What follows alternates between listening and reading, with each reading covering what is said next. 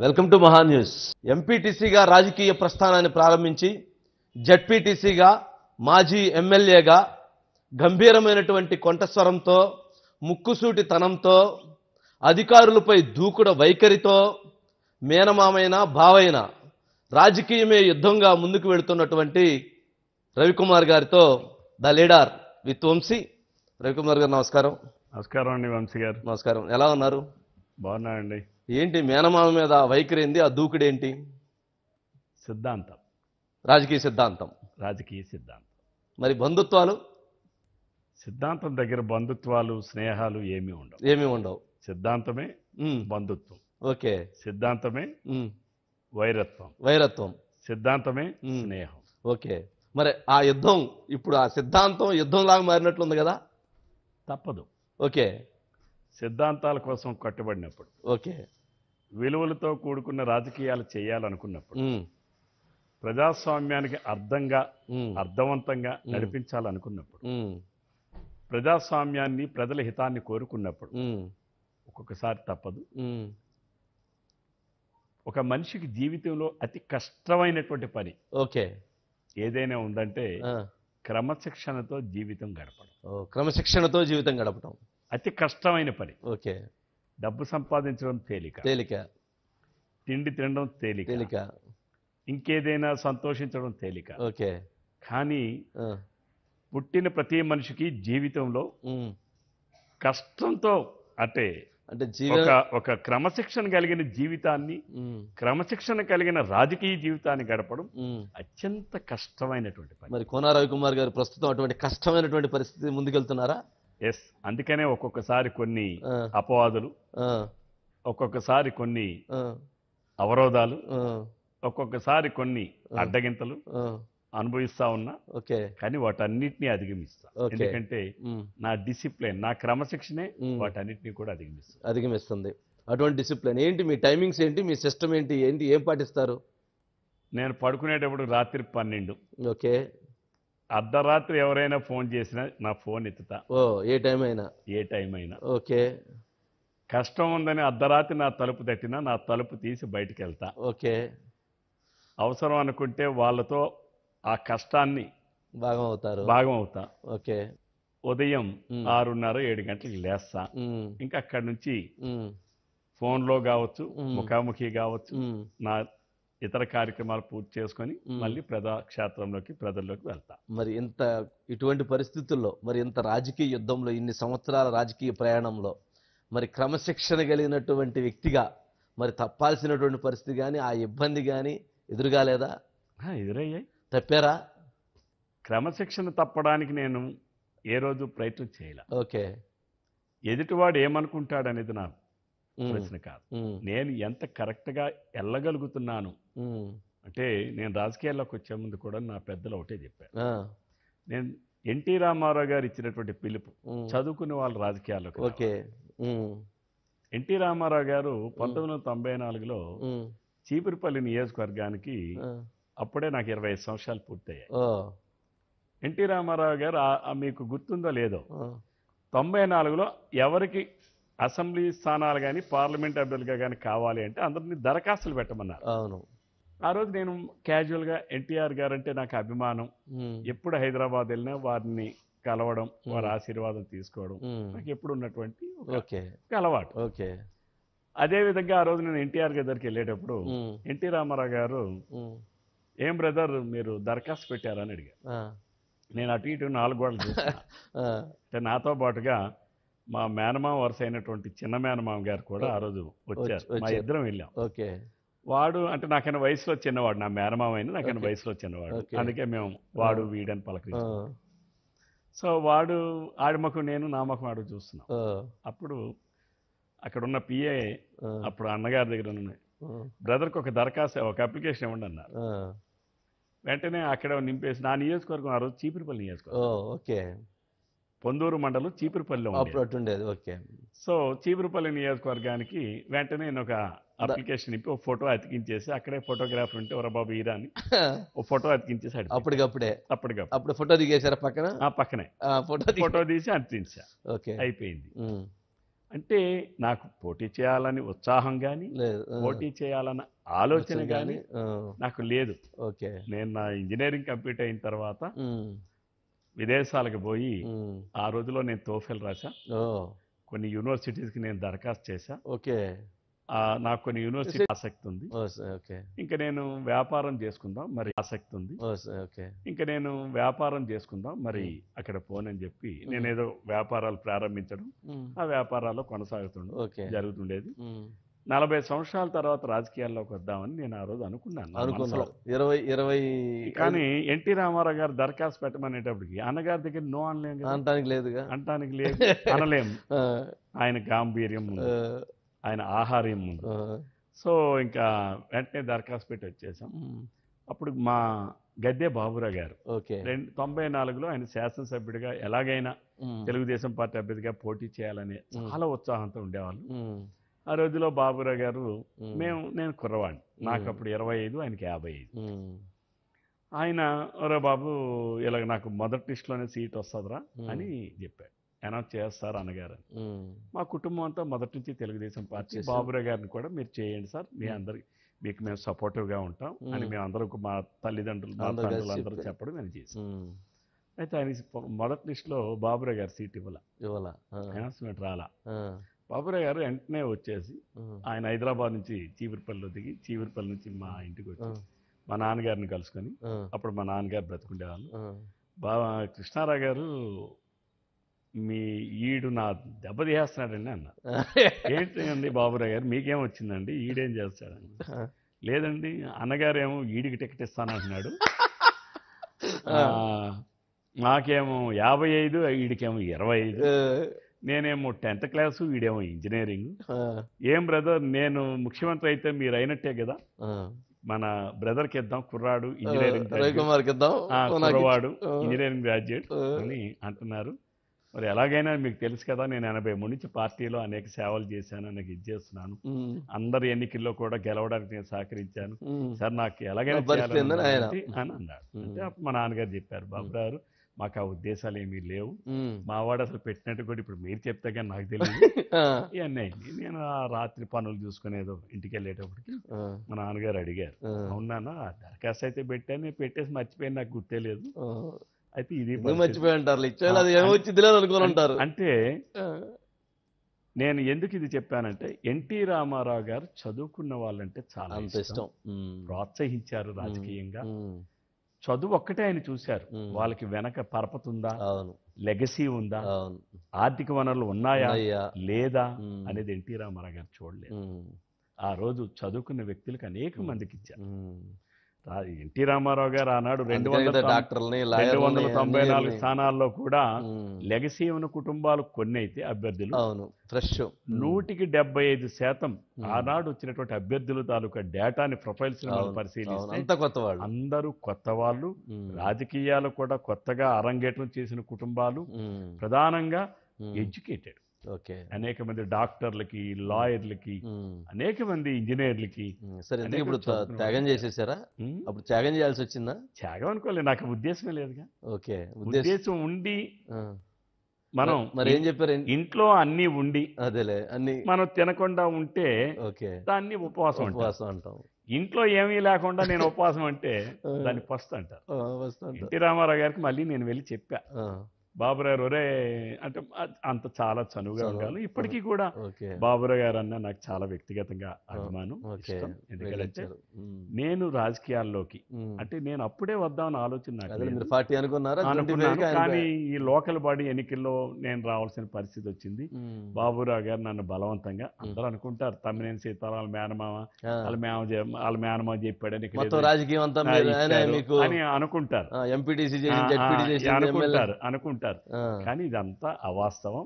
వాళ్ళు అనుకోవడం వరకే. ఎందుకంటే దగ్గర బంధుత్వం కాబట్టి ఊహించడం అంతేలే ఆ, జనరల్గా జనరల్గా ఊహిస్తారు. బట్ నన్ను ఆ రోజు నేను రాను అన్నా సరే. నన్ను బలవంతంగా లేదురా బాబు నువ్వు చెయ్యాలి. అని చెప్పని ఎందుకంటే లోకల్ బాడీస్లో కూడా మనం గెలిచి వస్తేనే నేను ఎమ్మెల్యేగా గెలిచా నాలుగు పనులు చేయగలం. మరి ఇప్పుడున్న పరిస్థితుల్లో. ఈ కొత్త సెటప్ ఎంపీటీసీ జడ్పీటీసీ వ్యవస్థలు కొత్తగా వచ్చాయి. కాబట్టి నువ్వు రావాలి. చెయ్యాలని చెప్పి ఆయన. ఎందుకు ఎన్టీ రామారావు గారి దగ్గర పోయి సార్ నేను గారు చెప్పాను? చెప్పానంటే అన్నగారు మరి కొద్దిగా నసులుతూనే బాబురావు గారికి ఇవ్వకపోతే నాకు ఇవ్వండి అన్నగారు అని చెప్పాను ఏం బ్రదర్ టికెట్లు మీరిస్తారా? అని అన్నాడు టికెట్లు మీరిస్తారా?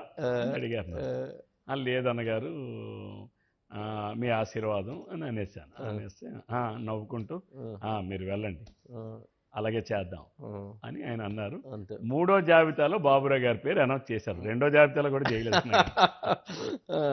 ఆ, రోజు జరిగినటువంటిది. అంటే ఎన్టీ రామారావు గారి స్ఫూర్తి. నేను రాజకీయాల్లోకి రావడం చదువుకునే వాళ్ళు రాజకీయాల్లోకి రావాలని ఓకే. రాజకీయాల్లో కూడా ఒక క్రమశిక్షణ కలిగినటువంటి నాయకులుగా మెలగాలని ప్రజాస్వామ్య స్ఫూర్తిని కాపాడాలని ప్రజలకి ఎప్పుడూ కూడా ప్రజల దగ్గరగా ఉండాలని ఏదైతే ఎన్టీ రామారావు గారు ఆశించేవాళ్ళో ఆయన అదే రకమైనటువంటి శిక్షణా కార్యక్రమాలు ఆ రోజు చేసి ఎన్నో పెట్టారు ఎన్నో. సింపుల్ స్టేట్మెంట్ కదా సమాజమే దేవాలయం ప్రజలే దేవుళ్ళు. ఇంకెంతకు మించినటువంటి పెద్ద క్యాప్షన్ అసలు ఎక్కడ ఉంది రాజకీయాల్లో. సిద్ధాంతం. సిద్ధాంతం అది కదా మీ పార్టీ మేము ఇప్పుడు ఎన్ని కార్యక్రమాలు ఏమి చేసినా ఆ- ఆ- సిద్ధాంతం చుట్టూనే తిరుగుతాం తిరుగుతూ ఉంటాం సరే ఇందాక మీరు అన్నారు సరే బాబురావు గారు మీకు లిఫ్ట్ ఇచ్చారు. మరి సీతారాం గారు మీ లిఫ్ట్ని అడ్డుకునే ప్రయత్నం జరిగిందా? అట్లా జరిగిందా? అంటే సీతారాం గారికి నేను నామినేషన్ వేసేంత వరకు నేను పోటీ చేస్తున్నాన సంగతి కూడా ఆయన తెలియదు ఓకే. ఆయనకేం తెలియదు తెలియదు తెలియదు మీరు పోటీ చేసి నేను పోటీ అయితే. గెలిచిన తర్వాత "ఆ, చూసారా మా వాడిని గెలిపించుకున్నాను స్టేట్మెంట్ కొట్టాడు ఓకే. ఇచ్చేసారు ప్రశంస. ప్రశంస. తన- ఖాతాలో వేసుకున్నారు. అది తన ఖాతాలో వేసుకునేవాడు. ఓకే. ఇది ఆ, అలాగే కానీ అదే సందర్భంలో. మాకు అప్పుడు తెలుగుదేశం అన్నగారు పార్టీ చంద్రబాబు నాయుడు. గారు ముఖ్యమంత్రి కావడం నేను చంద్రబాబు నాయుడు గారి నాయకత్వం వైపే మొగ్గడం ఆ తర్వాత ఎన్టీ రామారావు గారు చనిపోవడం అప్పుడు మా పెద్దనాన్నగారు మోహన్ రావు గారు అని ఆయన జడ్జ్ రిటైర్డ్ జడ్జ్. ఈ ఇప్పటికైనా సరే హైకోర్టులోనే కాదు ఎక్కడైనా సరే ఆయన అత్యంత అత్యంత అత్యంత క్రమశిక్షణ కలిగినటువంటి వ్యక్తి ఓ. Very very very honest. Okay. ఎప్పటికైనా ఎవరైనా కోనమోహన్ రావు గారు ఎలాంటి వాళ్ళండి ఎవరికైనా రావు అని ఏ ఎవరైనా అడిగితే చెప్తారు. ఆయన చాలా సింప్లిసిటీ చాలా డిసిప్లైన్. ఆయన అన్నారు. నేను. అడిగాను. నాన్న నేను ఈ క్రిటికల్ సిచ్యుయేషన్లో నేను ఎవరితో ఉండాలి? అని అన్నారు. ఎన్టీ రామారావు గారు చంద్రబాబు నాయుడు గారు వచ్చి పరిస్థితి వచ్చినప్పుడు? పరిస్థితి వచ్చినప్పుడు.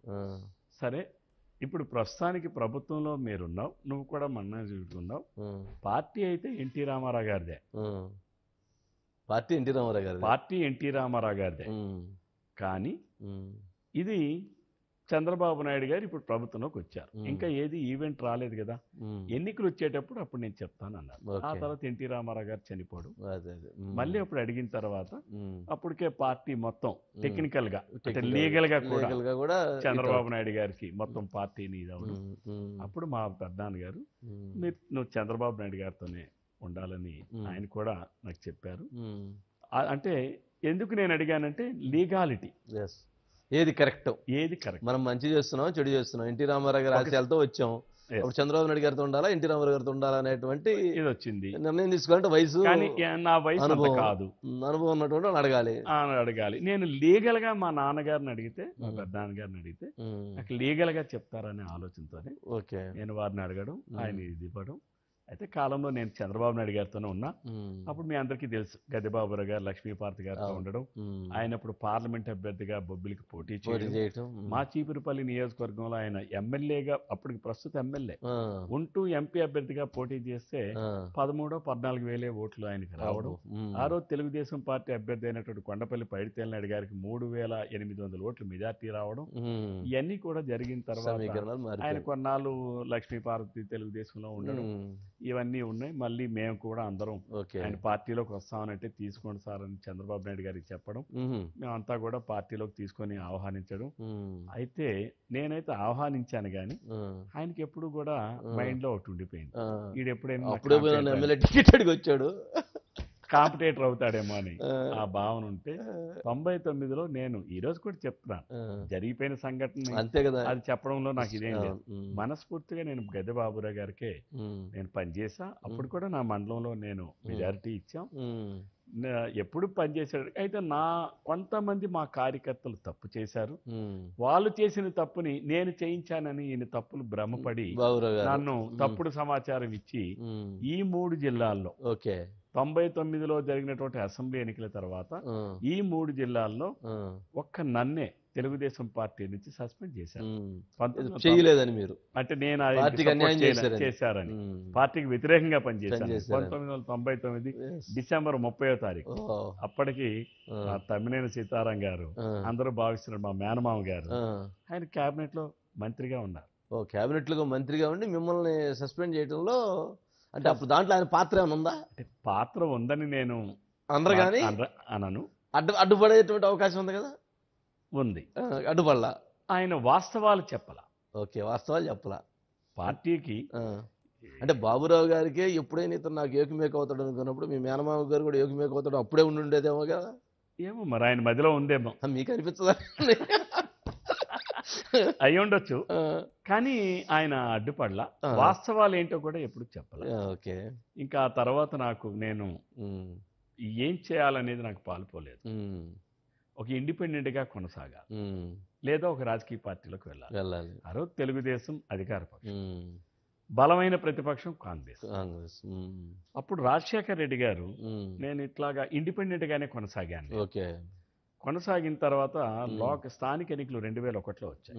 వచ్చేటప్పుడు నేను అప్పుడు ఏ పార్టీలో కూడా చేరకుండా నేను సొంతంగా ఒక ప్యానెల్ పెట్టి అప్పుడు ఇరవై ఇరవై ఒక్క ఎంపీటీసీ స్థానాలు ఉంటే ఇరవై ఒక్క స్థానాల్లో కూడా అభ్యర్థులు ఇండిపెండెంట్ ప్యానల్గా ఇండిపెండెంట్ అభ్యర్థులను పెట్టి నేను కూడా జడ్పీ ఒక దగ్గర ఎంపీటీసీగా నిలబడుతూనే జడ్పీటీసీగా కూడా చేశారు. కంటెస్ట్ నేను కంటెస్ట్ చేసి ఉమ్, మరి ఆ రోజు అనూహ్యంగా. ఆ, సుమారు పదిహేను సీట్లు ఎంపీటీసీ ఎంపీటీసీలు గెలిపించుకొని ఇండిపెండెంట్ ప్యానల్ panel. గుర్తు? అప్పుడు కామన్ కామన్ గుర్తుండే. గుర్తు? జడ్పీటీసీకి కారు గుర్తు. కారు గుర్తు. యా ఎంపీటీసీలకి రెండు మూడు గుర్తులు ఏదో వచ్చేసినాయి. నేను పదిహేను స్థానాలు ఎంపీటీసీలు గెలుచుకొని నేను అప్పుడు ఎంపీటీసీగా గెలిచాను మళ్ళీ జడ్పీటీసీగా కూడా గెలిచాను. అప్పుడు నేను జడ్పీటీసీగా కొనసాగుతూ నేను ఎంపీటీసీకి రాజీనామా చేసి అక్కడ మళ్ళీ మా చిన్నాన్నగారు అబ్బాయిని ఎంపీటీసీగా నిలబెట్టి. మళ్ళీ అది కూడా గెలిపించుకొని ఆ రోజు ఇండిపెండెంట్ ప్యానల్తో ఎంపీటీసీ ఎంపీపీ అండ్ జడ్పీటీసీ ఈ.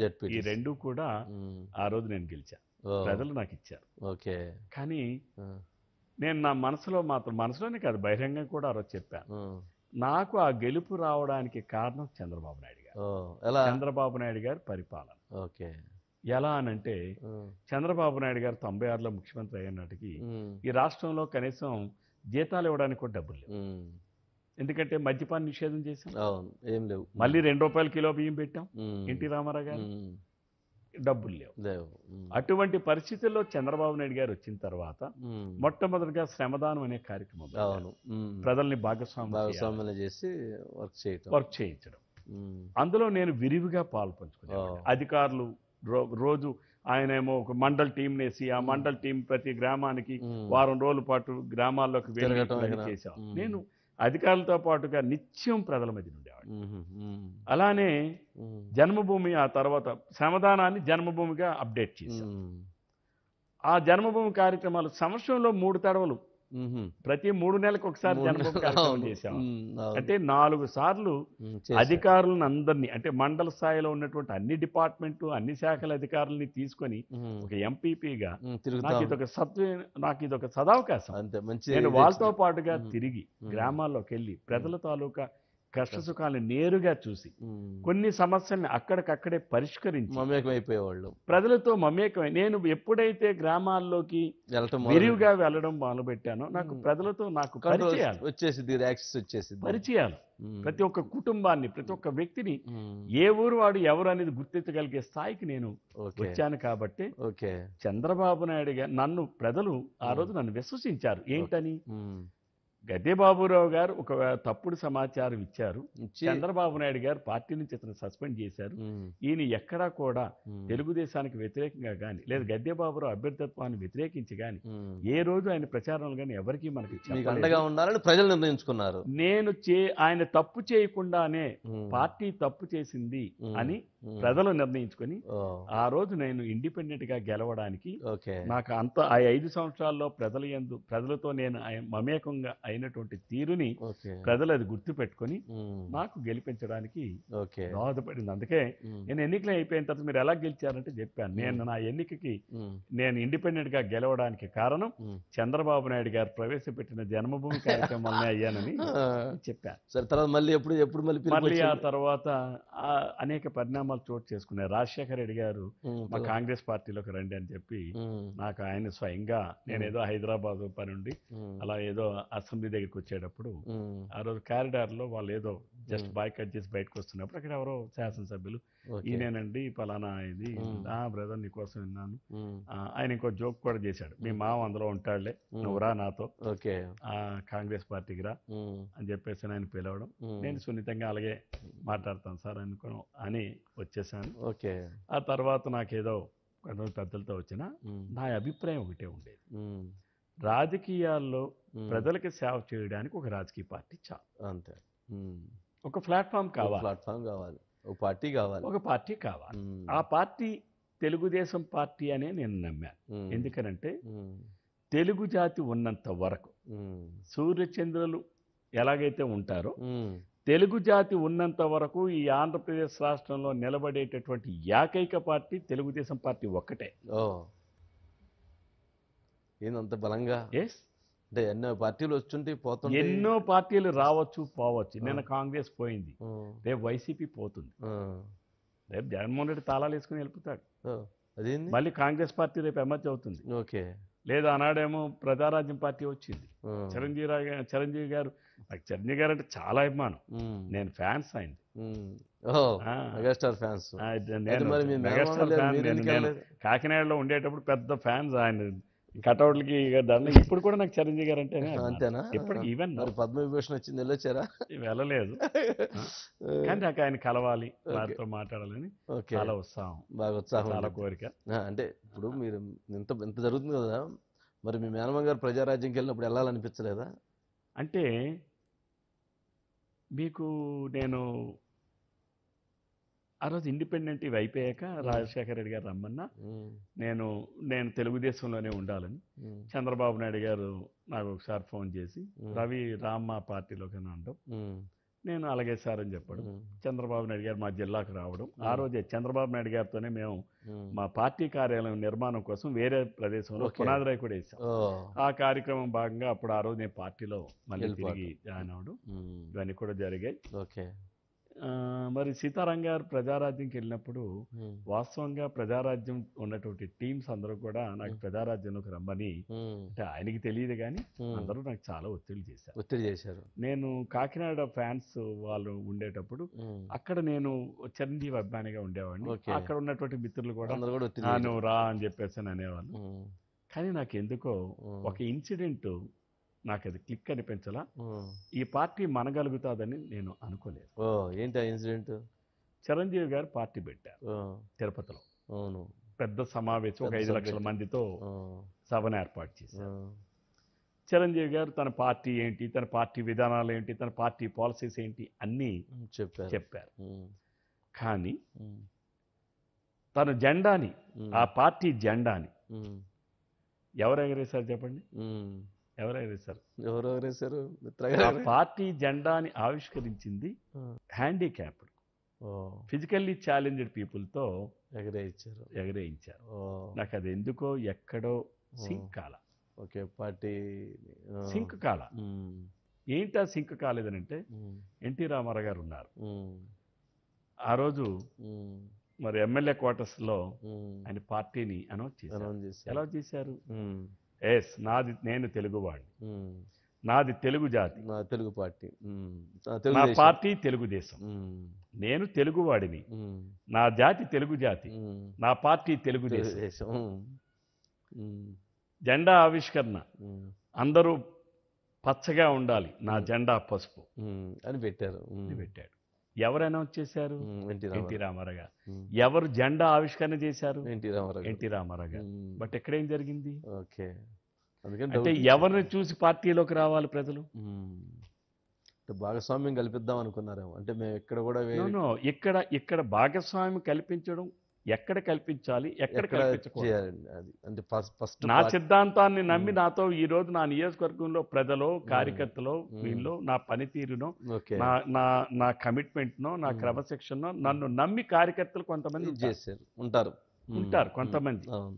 పార్టీ సిద్ధాంతాలను నమ్మి పార్టీ క్రమశిక్షణ నమ్మి ఉండేవాళ్ళు మరికొందరు ఉంటారు. కొంతమంది ఉంటారు. ఉమ్, ఈ రోజు ఉమ్, మరి నా నేను నా జెండాని వేరే వాళ్ళు ఎవరైనా చేస్తే ఓకే. వాళ్ళు నా ఏమి చూసి నన్ను నమ్మాలి? ఎస్ అందుకని మీకు క్లారిటీ వచ్చేసింది. నాకు సింక్ కావాలి. సింక్ కావాలా? ఎందుకో ఎక్కడో మీకు సిక్స్ సెన్స్లో ఇది కరెక్ట్ కాదనే అభిప్రాయం కలిగిపోయింది. నేను కరెక్ట్ కాదని చెప్పా. ఆ రోజుల్లో ప్రెస్ మీట్లో ఎవరో ఎక్కడో అడిగినప్పుడు కూడా చెప్పాను అమ్మా ఉమ్, ఈ మాట. ఉమ్, ఓకే. ఎప్పుడు కూడా. నా సిద్ధాంతం నేను చెప్పాలి. మ్మ్. నా నా నా ఇదేంటి అది నేను చెప్పాలి అందుకని- మీరు అక్కడి నుంచి నాది విరమించుకోండి. వంశీ గారు చెప్తే వాళ్ళు ఎవరి నుంచి ఎవరిని చూసి రావాలి? అతను చూసి రాలేరు కదా. చిరంజీవి గారిని చూసి రావాలి. చిరంజీవి గారు ఎగరేయాలి. చిరంజీవి గారు మాట్లాడాలి. ఎస్ రైట్ అందుకని ఇక నా అయిపోయారు. అది నేను ఆగిపోవడం అని కాదు. నేను అప్పటికే తెలుగుదేశంలో ఉన్నా. అదే పూర్తిగా నేను. విభేదించా. తర్వాత మరి సీతారాం గారి ప్రజారాజ్యంకి ఆయన వెళ్ళిపోయేటప్పుడు ఆయన ఆడిన మాటలు కూడా నాకెందుకో నాకే కాదు మా కుటుంబంలో అందరికీ. సెవెంటీ ఫైవ్ పర్సెంట్ మా ఫ్యామిలీ మెంబర్స్ కానీ బ్లడ్ రిలేషన్స్ కానీ నచ్చల. ఎందుకంటే తెలుగుదేశం పార్టీ అన్యాయం చేసింది ద్రోహం. తెలుగుదేశం పార్టీ నాకు మోసం చేసింది. తెలుగుదేశం పార్టీ నాకు అన్యాయం చేసింది. నేను అందుకు ప్రజారాజ్యంలోకి వెళ్తున్నా అని చెప్పి ఏవో మాట్లాడు. మరి ఏంటి మోసం చేసింది ఎలా మోసం చేసింది? తొమ్మిది సంవత్సరాల పాటు మంత్రిగా ఇచ్చింది. ఎనభై మూడులో ఆయన గెలిస్తే స్పోర్ట్స్ అథారిటీలో ఆయన సెక్రటరీగా పెట్టింది. ఎనభై నా ఐదు నుంచి ఎనభై తొమ్మిది వరకు ప్రభుత్వ విప్పుగా బాధ్యతలు ఇచ్చింది ఎనభై తొమ్మిది తొంభై నాలుగు మధ్యన మంత్రిగా ఎనభై తొమ్మిది తొంభై ఒకటి మంది మనం ఓడిపోయారు. మళ్ళీ తొంభై ఒకటి బై ఎలక్షన్లో ఆయన. తెలుగుదేశం పార్టీ టికెట్ ఇచ్చింది ఆయనే గె గెలిపించింది. మళ్ళీ తొంభై నాలుగులో మళ్ళీ ఆయనకే అభ్యర్థి ఇచ్చారు. తొంభై నాలుగులో ఆయనకి మళ్ళీ గెలిచిన తర్వాత ఎన్టీ రామారావు గారు క్యాబినెట్లో ఉన్నారు చంద్రబాబు నాయుడు గారు క్యాబినెట్లో మరి ఎక్కడ మోసం అంటే ఏంటి మోసం? ఆయన అధికారం లేకపోతే రెండు వేల నాలుగులో అధికారం పోయిన తర్వాత ఒక ఐదు సంవత్సరాల పాటు అధికారం లేకుండా బతకలేని పరిస్థితిలో ఉన్నాడు ఆయన. మెంటల్లీ. అంటే ఎప్పుడూ అధికారం కావాలి. ఓకే. అధికారాన్ని అడ్డం పెట్టుకుని ఏవేవో చేయాలి. ఆయన ఇంటెన్షన్ అది ఓకే. దానికి కూడా అప్పుడు ఇప్పుడు బహిర్గ బహిర్గతంగా మాట్లాడుతున్నా. అప్పుడు నాలుగు గోడల మధ్యన మాట్లాడేవాడు. మాట్లాడేవాళ్ళ? ఆ, ఇది కరెక్ట్ కాదని చెప్పేవాళ్ళు. హండ్రెడ్ పర్సెంట్ వెళ్ళేటప్పుడు చెప్పారా? మరి కరెక్ట్ కాదు మీరు డెసిషన్ అని? చాలా చాలా క్లియర్గా చెప్పాను. ఏది నువ్వు నాకు చెప్పడం అన్నాడా? ఆయన ఏమన్నాడంటే ఇది నువ్వు ఒకసారి ఆలోచించేయన్నా మ్మ్. పార్టీ మనకు మోసం చేసిందని మీరు భావించగలరు ఓకే. పార్టీ మనకేం మోసం చేయాలి. ఈరోజు ఈ ఈరోజు నువ్వు ఈ స్థాయిలో ఉన్నావు అంటే అది పార్టీ. మిమ్మల్ని రమ్మన్నారు అప్పుడు? ఆ, రమ్మన్నారు. మా అన్నయ్య గారి ఇంట్లో మా అన్నయ్యని నన్ను కూర్చోబెట్టి ఇలా నేను వెళ్ళిపోతున్నాను మీరు నాతో రండి అని ఆయన మ్మ్. అంటాం మేమిద్దరం కూడా ఇది కరెక్ట్ కాదేమో మీరు ఆలోచన చేయండి. ఇది సరైనది కాదు. తెలుగుదేశం పార్టీ మనల్ని మోసం చేసిందని అని మాట్లాడడం ఇది కరెక్ట్ కాదు. కాదు. మీరు కూడా ప్రజారాజ్యంలోకి వెళ్ళడం అనేది సరైనది కాదు. అయినా మేమిద్దరమే కాదు చెప్పే ప్రయత్నం చేశారు. మన కుటుంబంలో కూడా ఇంకా అనేక మంది ఉన్నారు. మీ మీ ఓకే. నాకు పెద్ద మేనమామ ఆయనకి సొంత అన్నదమ్ముడు తమ్మినే శ్యామలరావు గారు ఉన్నారు. మరి ఆయనతో కూడా మాట్లాడు. ఇంకా మా కజిన్ బ్రదర్స్ వాళ్ళ బ్రదర్స్ అందరితో మాట్లాడండి. ఎవరు కూడా దీనిని నచ్చడం లేదు. కాబట్టి మీరు వెళ్ళకుండా ఉంటేనే మంచిదని చెప్పి చెప్పాం. అయినా ఆయన వెళ్ళలేదు. ఒకసారి మళ్ళీ మా గుండా అప్పలసున్నాయన గారు ఒకరోజు ఏదో పార్టీ హౌస్లో ఇద్దరం కలుసుకునేటప్పుడు ఉమ్, "ఆ, అరే మీ బావకు చెప్పరా నువ్వు అని చెప్పేసి నేను అంటాం. అంటే మేము కాస్త సన్నిహితంగా ఉంటాం. ఆ రోజు. అలాగే ఉన్నాం ఈ రోజు అలాగే ఉన్నాం. ఆయన నేను చెప్తే వినడం లేదా. అయితే పదరా మన ఇద్దరం వెళ్దాం మాట్లాడదాం అని అంటే మళ్ళీ మళ్ళీ మేము ఇద్దరం వెళ్ళడం. ఆ రోజు వెళ్ళి చెప్పిన ఇంకా ఆయన ఏదేదో మాట్లాడడం. అయిపోయింది ఆయన ఆవేశంగా వేరావేశంగా డమాబుస్లన్నీ కొట్టడం. ఇంక ఈ ఏంది రా- మీ మేనమామ గారికి ఆ పేరు ఏదో పెట్టారు డంబా బుస్ ఏంది అసలు డంబా బుస్ అంటే ఏంది? అర్థం ఏంది అర్థం కావట్లేదు. డమాబుస్ అంటే సీతారాం. ఎక్కడ మాట్లాడినా మీ మీడియాలో మాట్లాడినా వేదిక మీద మాట్లాడినా. ప్రజల ముందు మాట్లాడినా ఇంట్లో భార్య దగ్గర మాట్లాడినా బంధువుల దగ్గర మాట్లాడినా మాట్లాడినటువంటి వంద మాటల్లో. వందకు వంద కూడా. అబద్ధం అసత్యం. అంతే నిజం ఉండదు. లేనిది ఉన్నట్టు ఉన్నది లేనట్టు మాట్లాడడమే ఆ, ఆయన నైజం. అంటే అలా మాట్లాడే వాళ్ళు డంబా బుస్ మరి మాట్లాడతారు అంతే కదా అబద్ధాలు మాట్లాడమని ఏమంటారు? బుస్సులు కొడుతున్నాడు అంటారు అదే కదా. బుస్ కొడుతున్నారు మీరు అందరూ బుస్సులు అంటారు. డమ్మా బుస్ అంటారు డంబా బుస్ అన్నారు. ఏ మొత్తానికి అది ఈ సీతారాంలో ఉన్నటువంటి క్వాలిటీ ఏంటంటే ఇప్పుడు సపోజ్ మీరు అబద్ధం చెప్పారు నాకు ఆ విషయం తెలియదు అనుకోండి ఆ. విషయం పర్టికులర్. అనుకోవచ్చు. సరే నేను గ్రహించలేకపోవచ్చు మీరు అబద్ధం. అది నిజం లేకపోతే నిజమని అనుకోవచ్చు లేకపోతే అబద్ధం మీరు చెప్తారని నేను గ్రహించలేకపోవచ్చు. లేదు నేను మాట్లాడిన దాంట్లో కూడా మీరు గ్రహించలేకపోవచ్చు. కానీ సీతారాంలో ఉన్న స్పెషల్ ఏంటంటే. సీతారాం అబద్ధం ఆడుతున్నాడని అతనికి తెలుసు. విన్నటువంటి మీకు తెలుసు సీతారాం అబద్ధాలు చెప్తున్నాడని. మీకు తెలుసన్న ఇది నేను అబద్ధాలు చెప్తున్నానన్న విషయం వంశీకి తెలుసు అన్న విషయం కూడా అతనికి తెలుసును. ఓ, తెలిసినా సరే జంకు లేకుండా. ఎక్కడ? ఏ జంకు మంకు లేకుండా. బొంకుతాడు చూడండి దాన్నే డమాబూస్ అంటారు. ఓకే అంటే మనం జనరల్ అవతల నమ్మట్లేదు అనుకున్నప్పుడు చెప్పడం మానేస్తాం చెప్పం. చెప్ప అరే ఇది కానీ నేను అవతల అబద్ధం వాళ్ళకి చెప్తే, తెలిసినా కూడా అయ్య, మనకి- వంశీకేమో తెలుసు కదా నేను ఎలాగ అబద్ధం చెప్తానని అనుకుంటాను నేను. కానీ సీతారాంలో ఉన్న స్పెషల్ ఏంటంటే మీకు తెలిసి నేను అబద్ధం సీతారాం ఆడుతున్నాడని తెలిసి కూడా ఓకే. అతనికి తెలిసని అతనికి ఆ విషయం తెలిసి కూడా అబద్ధాన్ని గట్టిగా మాట్లాడతారు చూడండి. దాన్నే డమ్మా బుస్ అంటారు. డంబా బుస్ అంటారు. ఒక వ్యక్తి అబద్ధాలు చెప్తే దాన్ని బుస్సులు అంటాం. తెలిసి అతని నేను వినేవాడికి కూడా నేను అబద్ధం చెప్తున్నానని చెప్పి తెలిసి తర్వాత కూడా మాట్లాడడం ఉంటే అందుకని దానికి మరి రెండింతలు ఉండాలిగా? డంబా- అవును, దానికని డంబా బుస్ అని అందుకని డమ్మా the leader with Vamshi small break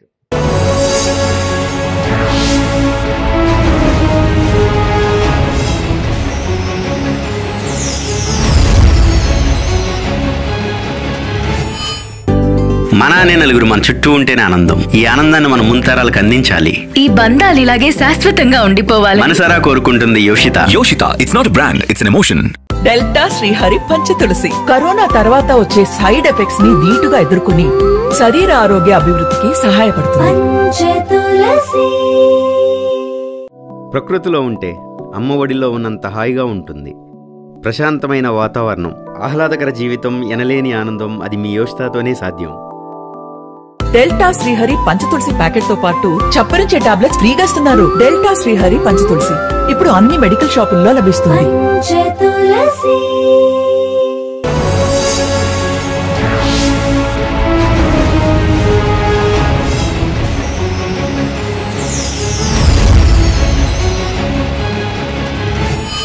Welcome back the leader with Vamshi మంచి అర్థాన్ని తీసుకొచ్చారు. దానికి కొత్త పదం ఒక డిక్షనరీలో ఒక దాన్ని యాడ్ చేశారు. సరే ఏంటి మొత్తానికి ఇప్పుడు యుద్ధం. దాదాపు ఆముదాల వలసలో దాదాపు చాలా వివాదాలు. అనేక కేసులు మీరు పారిపోవటం పరారవటం బెయిల్ తీసుకోవటం కేసులు. ఏంటి అసలు ఇంత పెద్ద యుద్ధం? ఏంటి? అంటే ప్రజారాజ్యం ఈ యుద్ధం ప్రజారాజ్యానికి ఆయన వెళ్ళిన మరుసటి రోజు నుంచే స్టార్ట్ అయిపోయింది. మాకు మేము అందుకనే నేను చాలా పర్యాయాలు చెప్పాను మళ్ళీ ఇప్పుడు కూడా చెప్తాను ఈ పరిణామ క్రమంలో నాకెవరు రాజకీయాల్లో విరోధులు లేరు. ఎవరైనా ఉంటే వ్యక్తిగత విరోధులు లేరు. ఎవరైనా ఉంటే రాజకీయ విరోధులు. తప్ప మనకేం లేదు. కానీ సీతారాం ఈరోజు నాకు వ్యక్తిగత విరోధి. ఓ. ఎందుకంటానంటే ఇప్పుడే లేరన్నారు కదా మళ్ళీ వ్యక్తిగత విరోధం అదే చెప్తాను అంటే అదే చెప్తున్నాను. ఒకే ఒక్కడున్నాడు ఆ ఒక్కడే తమిళని సీతారాం. ఓకే. వ్యక్తిగత విరోధి. మిగిలిన వాళ్ళు ఎవరైనా ఉంటే రాజకీయ విరోధులే తప్ప నాకు వ్యక్తిగత విరోధులు ఎవరు లేరు. ఓకే. అర్థం. ఎందుకు అంత వ్యక్తిగతమైన విరోధం ఎందుకనంటే రెండు వేల ప్రజారాజ్యంకి వెళ్ళిన నాటి నుంచి ఉమ్, ఇక నా కక్ష సాధించడం మొదలుపెట్టాడు. ఆ. రోజుకి నా ప్రొఫైల్ చిన్నది. నేను ఒక మండలాధ్యక్షుడిగా ఉండేవాడిని. నేను కూడా అప్పుడు రెండు వేల తొమ్మిది నాటికి అంతవరకు పొందూరు మండలం చీపురుపల్లి నియోజకవర్గంలో ఉమ్, పార్లమెంట్ ఏమో బొబ్బిలి. బొబ్బిలి ఈ పొందూరు మండలం డీలిమిటేషన్స్లో ఆమదాలవలస నియోజకవర్గంలో కలిసి. ఇటు వచ్చేసింది. అసలు నేను ఎమ్మెల్యేగా పోటీ చేస్తానని కానీ ఎమ్మెల్యేగా పోటీ చేయాలనే ఆలోచన కానీ నాకు లేదు. ఓకే. ఎందుకంటే అందులో కలిసింది సీతారాం గారు ఉంటారు ఆయన పోటీ చేసుకుంటాడు అన్న ఆలోచనే తప్ప నాకు ఇంకొక ఆలోచన కూడా లేదు. కానీ ఈ చీలిక ఎప్పుడైతే ఆయన ప్రజారాజ్యానికి వెళ్ళిపోవడం మా కుటుంబంలో కొంతమంది మేము తెలుగుదేశం పార్టీలో కొనసాగడం మా పెద్ద మేనమాన గారు తమ్మినేని శ్యామలరావు గారు కూడా ఇందులో కొనసాగడం. అప్పుడు చ- చంద్రబాబు నాయుడు గారు మా ఇద్దరికి పిలిచి మా శ్యామలరావు గారికి. ఎందుకంటే. శ్యామలరావు గారు ఆ నియోజకవర్గాన్ని చూసేవాడు. Okay okay. బాధ్యతలు ఆయన బాధ్యతలన్నీ ఆయన చూశాడు. ఈయన. పై పైన ఎక్కడో తిరుక్కున్నా ఆయనే గ్రాస్ రూట్ లెవెల్లో నియోజకవర్గాన్ని చూసేవాడు. ఓకే. కాబట్టి ఆయనకి ఇస్తారులే అనేటటువంటిది నా నా ఆలోచన. నేను ఎప్పుడు చంద్రబాబు నాయుడు గారికి సార్ నాకు టికెట్ ఇవ్వండి సార్ అని నేను ఏ రోజు అడగలేదు. నాటి. నుంచి నేటి వరకు కూడా అడగలేదు. ఆ రోజు వాళ్ళందరూ కూడా ఏంటంటే చంద్రబాబు నాయుడు గారు సీతారాం గారు వెళ్ళిపోయిన వెంబడే నాలుగైదు రోజుల నాడు చంద్రబాబు నాయుడు గారు నాకు ఫోన్ చేయడం రవి ఒకసారి రా మాట్లాడదామని అన్నారు అలాగే సార్ నేను వస్తాను అని చెప్పడం. మళ్ళీ పది రోజుల తర్వాత పార్టీ నుంచి నాకు ఫోన్ రావడం. నాకు కొద్దిగా టైం ఇవ్వండి ఒక నెల రోజులు పోయాక వస్తానని చెప్పడం. ఎందుకనంటే నేను ముందు నా కుటుంబంలో నా కుటుంబ సభ్యుల ఆలోచన ఏంటో నేను తెలుసుకోవాలి. ప్రధానంగా మా అమ్మ లేదా నా తోడబుట్టిన అందం ఎందుకంటే మా అమ్మకి సొంత తమ్ముడు అవును. అల్లుడు. అవును. కాబట్టి. యువతల కొడుకు. కాబట్టి మా అమ్మ ఉద్దేశాన్ని నేను కనుక్కోకుండా అడుగు బయట పెట్టడం అనేది సరైంది కాదు. కానీ నా మనసులో మాత్రం నేను ఒకటి అనుకున్నాను.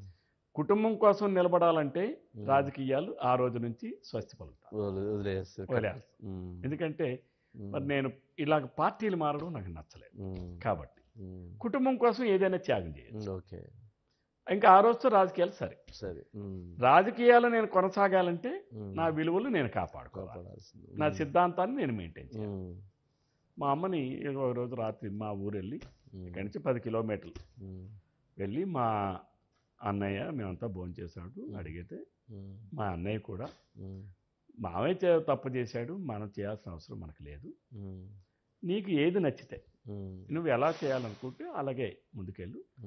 సార్ ఫోన్ చేసి నీకు రమ్మనంటే ఇప్పటికే నువ్వు వెళ్ళాలి కదా వెళ్ళకపోవడం కూడా కరెక్ట్ కాదు. నువ్వు అర్జెంటుగా వెళ్ళి సార్ని మాట్లాడు. కూడా చంద్రబాబు నాయుడు గారు నువ్వు కలిసిరా అని ఆ రోజు మా అమ్మ చెప్పడం. చెప్పిన తర్వాత నేను ఆ రెండు రోజుల్లోనే వెళ్ళి సార్ని కలిసి వచ్చా. నేను చెప్పా. అంతకుముందు కూడా చెప్పాను. సార్ నేనైతే. మేనమామగా మా సీతారాంతో నేను వెళ్ళను. ఎందుకు వెళ్ళననంటే నాకేదో కావాలని కాదు. నా సిద్ధాంతం కోసం నా విలువల కోసం. ఇప్పుడు సీతారాం అయితే చెప్పాడు నాకు తెలుగుదేశం పార్టీ అన్యాయం చేసింది అది చేసింది ఇది చేసింది. ఒకవేళ అనుకుంటే ఆ మాటే అనుకుంటే అన్యాయం అయింది నాకు. పార్టీ నుంచి సస్పెండ్ చేసింది నన్ను. అకారణంగా ఉమ్, అతనికి పదవులు ఇచ్చింది. అన్యాయమైనా సరే సిద్ధాంతం కోసం నేను కట్టుబడి ఉన్నా.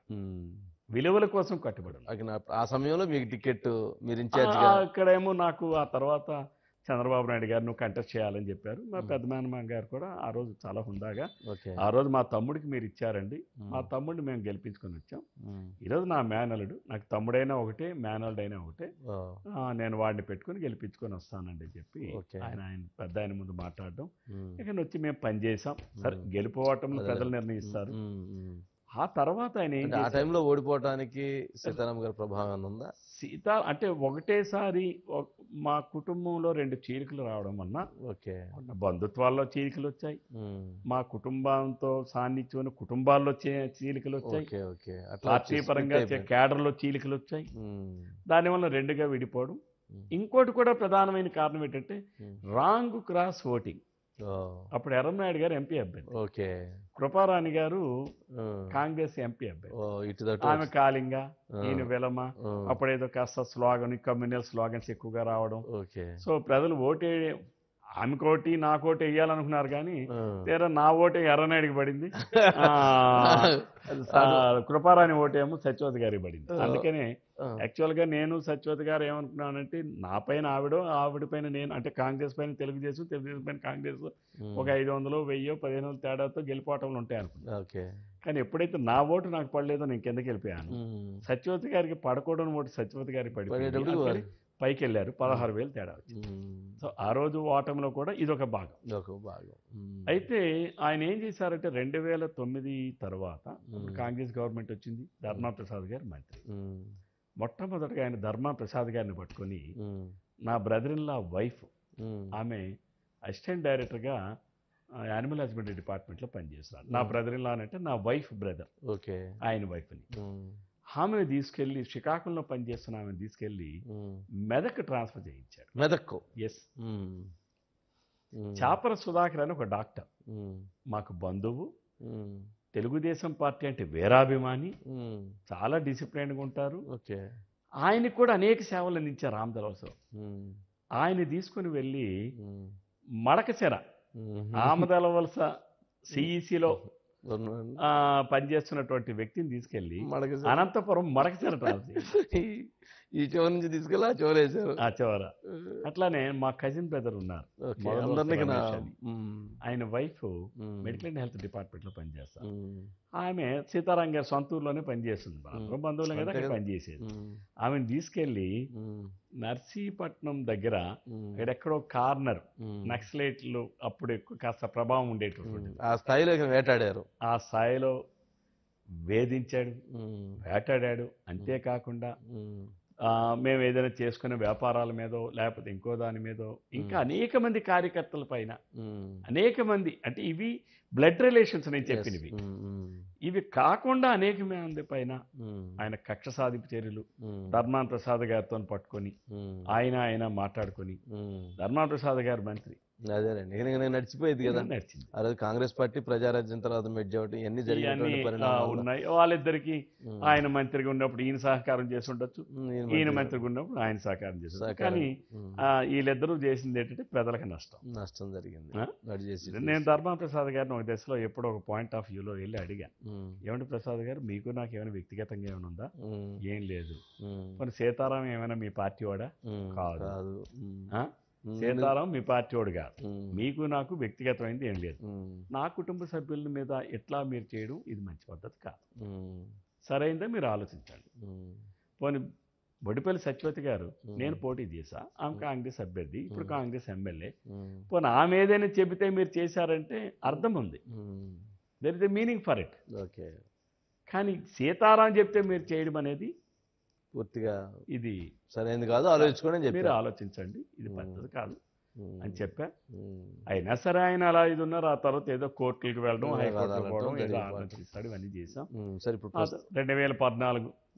మళ్ళీ యథాతథం మీరు కాంగ్రెస్. చనిపోయింది మీరు గెలవటం నేను గెలవడం విప్ అవటం ఆ, విప్పవడం మీరు కూడా చేశారు అట్లాగే మరి నేను ఎవరిని చేయాలి నా. నియోజకవర్గంలో ఏ ఒక్కరిని కూడా ఇంక్లూడింగ్ సీతారాంతో ఓకే. ఆయన కూడా ఎవరిని చేయలేదు? ఏమీ చేయలేదు ఎందుకు చేయలేదనంటే. నేను ఐదు సంవత్సరాల్లో ఒక ఎమ్మెల్యే ఎలా పని చెయ్యొచ్చో నిరూపిద్దామని ప్రయత్నం చేసి ప్రయత్నం చేశాను. మరి ఎందుకు ఓడిపోయారు మరి పంతొమ్మిదిలో నిన్న కూడా నా ఓటమిలో భాగం. ఓకే. ఈ ఒక్క ఛాన్సులు తమ్మినేని సీతారాం ఏడుపులు దగ్గర సీతారాం వణికిపోతున్నాడు. సీతారాం క్యాన్సర్ వచ్చిందట. చచ్చిపోతాడట. అని ఇలాంటి ప్రచారాలు బోగస్ ప్రచారాలు. ఆయనే ఈ క్రియేషన్స్ అన్ని. ఆ చూడరా పాపం ఆ చైతన్య రథం కూడా ఎక్కలేకపోతున్నాడు వణికిపోతున్నాడు. ఏదో ఆఖరి ఛాన్స్ అంటున్నాడు. జగన్మోహన్ రెడ్డి ఒక్క ఛాన్స్ రామాబుసులు సీతారాం ఆఖరి ఛాన్స్ ఈ రెండిటిని మించి మళ్ళీ రాంగ్ క్రాస్ ఓటింగ్ ఓకే. ఎక్కడ కూడా ఆ, ఎందుకంటే నేను దువ్వాడు శ్రీనివాస్ కళింగ కమ్యూనిటీ. మళ్ళా నాకు ఇక్కడ రామ్మోహన్ నాయుడు.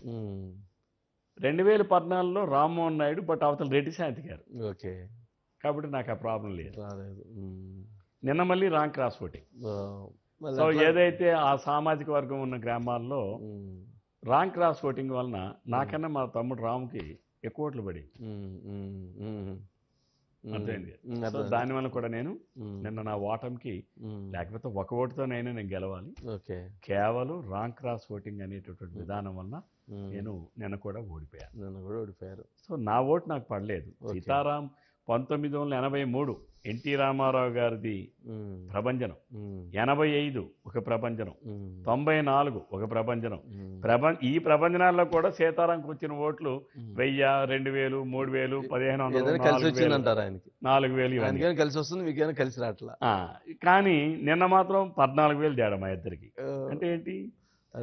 నాకు పడాల్సిన ఓటు నాకు బడలా. ఓకే. కిందకి వెళ్ళిపోయా. సీతారాం దువ్వాడు సీన్ దువ్వాడు శ్రీనివాస పడాల్సిన ఓటు సీతారాంగి సీత- ఇటు వేసారు. అందుకని మీదకి వెళ్ళిపోయాడు.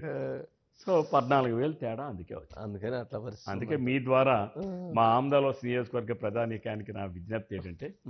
రెండు ఓట్లు సైకిల్కి వేయండి. రెండు ఓట్లు సైకిల్కి. ఈ రాష్ట్రం కోసం ఏదైతే మీరు అభిమానిస్తున్నటువంటి మీరు ఆశిస్తున్నటువంటి ఎమ్మెల్యే అభ్యర్థిగా నా గెలుపు కోసం వేయాలి.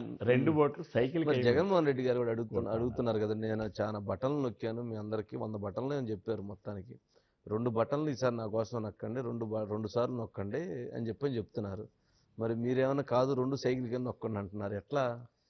జగన్మోహన్ రెడ్డి బటన్ నొక్కుడు వేరు.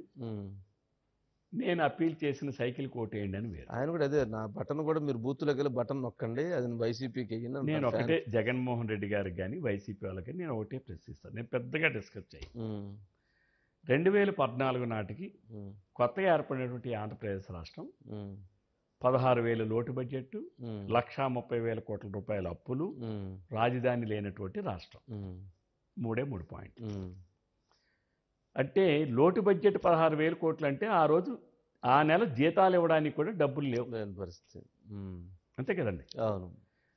మరి అటువంటి పరిస్థితి నుంచి పరిపాలన చేసుకుంటూ వచ్చి అనేక పరిశ్రమలు ఈ రాష్ట్రానికి తీసుకొచ్చి అనేక ఐటీ పరిశ్రమలు తీసుకొచ్చి రాజధాని లేనటువంటి రాష్ట్రానికి ఒక రాజధాని ఏర్పరిచి రాజధానికి కావాల్సినటువంటి ప్రభుత్వ కార్యాలయాలన్నీ కూడా నిర్మించి మరి ఇరిగేషన్ ప్రాజెక్టులను కూడా పూర్తి చేసే దశలో వేగంగా పెంచి వేగాన్ని పెంచి మరి అన్ని వర్గాల వారికి న్యాయం చేసి నూట ముప్పై నాలుగు సంక్షేమ పథకాలను అమలు చేయ చేస్తే రెండు వేల పద్నాలుగు నుంచి రెండు వేల పంతొమ్మిది వరకు మాకు అంటే ఏడు సం ఆ ఐదు సంవత్సరాల్లో రాష్ట్రానికి వచ్చినటువంటి ఆదాయం ఏడు లక్షల కోట్లు. మేము కూడా అప్పులు చేశాం. మూడు లక్షలు చిల్లర చేశాను మేము మూడు లక్షలు కాదు. మేము చేసినటువంటిది. రెవెన్యూ డైరెక్ట్ రెవెన్యూ కానీ లేకపోతే కార్పొరేట్ ద్వారా కానీ మేము చేసింది అంతా కలిపి లక్ష డెబ్బై రెండు వేలు ఎంత ఉంది.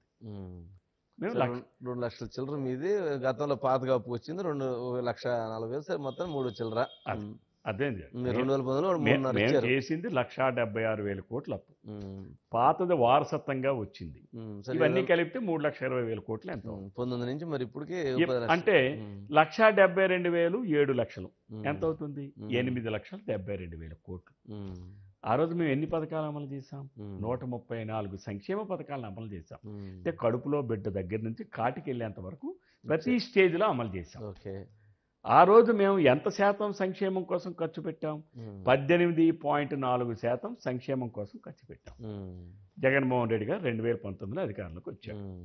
రెండు వేల ఇరవై నాలుగు. ఇప్పటికీ రాష్ట్రానికి వచ్చిన ఆదాయం పది లక్షల కోట్లు. జగన్మోహన్ రెడ్డి గారు చేసినటువంటి అప్పులు పన్నెండు లక్షల కోట్లు. అంటే వెరసి అప్పులు ఇవి కలిపితే ఎంత వచ్చింది ఇరవై రెండు లక్షల కోట్లు వచ్చాయి జగన్మోహన్ రెడ్డి గారు ఏం చెప్తున్నాడు? నేను ఇన్నిసార్లు బట్టలు నొక్కి నొక్కి నొక్కి నొక్కాను.